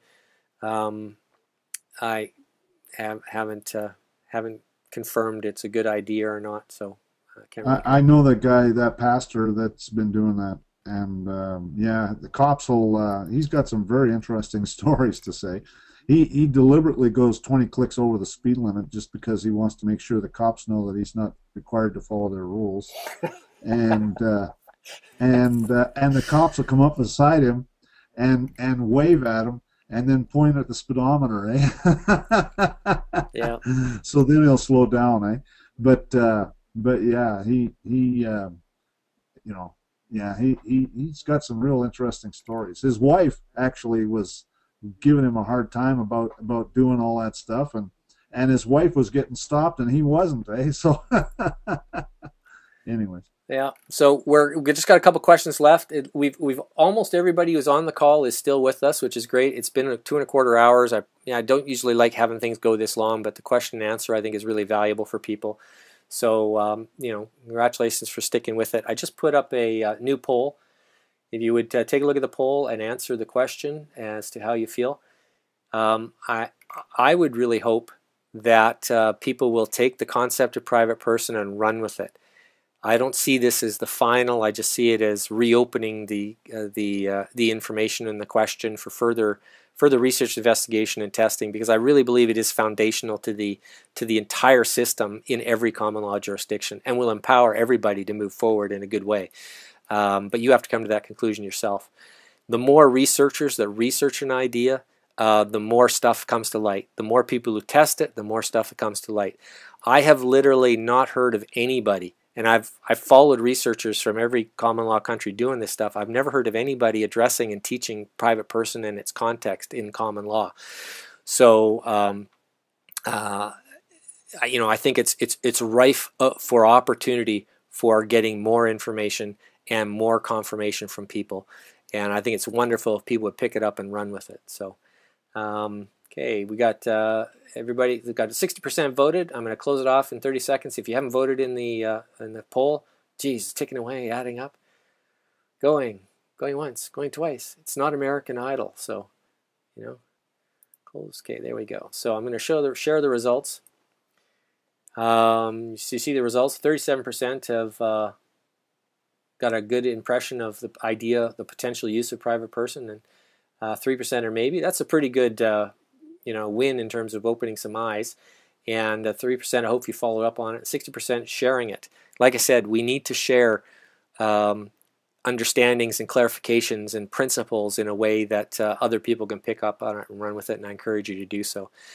And if any and if you can please um, give me some feedback. I'm starting to use um, testimonials on the website to let people know the value of the material so that people will take the time to watch it. You know, we're in the YouTube generation where people will watch something for three minutes and then switch to some other channel or, or whatever.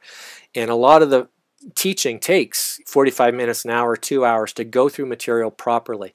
So if you feel that this uh, this information and presentation was valid, valuable to you, and worth other people's time to watch it, first of all, I'd recommend you um, uh, revisit it when it's on site. Facebook it, Twitter it when you go to visit it because those links will be there. And if you could right now put in your chat box a couple of lines or comments in terms of how you felt this presentation was so I can post the testimonial on the page so people will take the time to watch the whole presentation uh, based on the fact that a, number of people have recommended it as being very worthwhile. So if you would take a moment and uh, put a couple of lines of text in your chat box if you would about what you think the value of this presentation was. Comment in any way you want to about it. And I congratulate everyone for participating, sticking uh, through this information and any other information you're you're going through. I know it's a long haul and there's a lot out there. You do sometimes have to sift. I've tried done my best to sift through stuff and condense, but that doesn't mean that uh, it's the end. So uh, congratulations and encourage you to continue your research and your journey do it in a safe, happy, and uh, positive way. And uh, not only will you enjoy the process more, I think you'll get better results.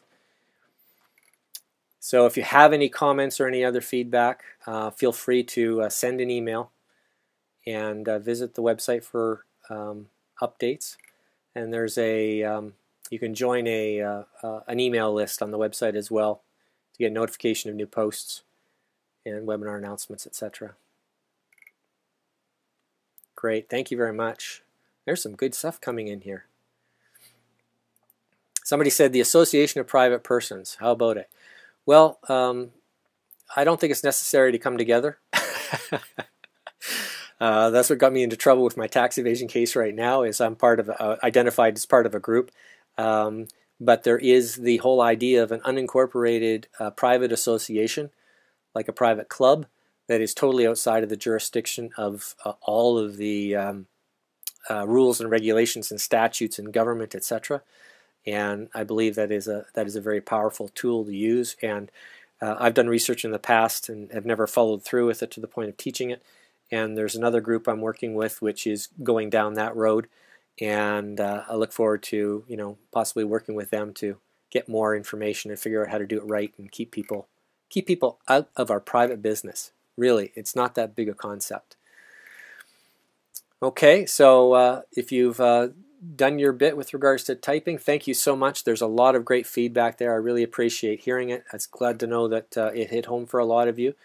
And uh, yes, groups can be private, uh, but they're more easily identifiable by the system in this particular point in time. So again, congratulations. And uh, Glenn, anything else you want to say before we sign off? Uh, no, uh, other than uh, I, I, think uh, uh, uh, JD's got some really important stuff, and um, um, and and I think that this can help a lot of people.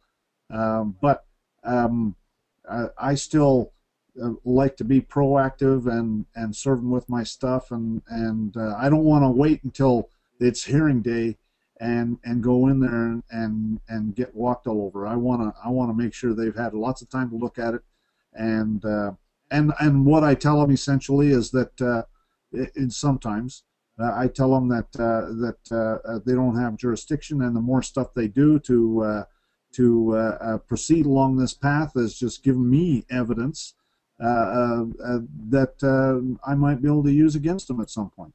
Absolutely, I agree 100%. The best time to deal with it is privately before court.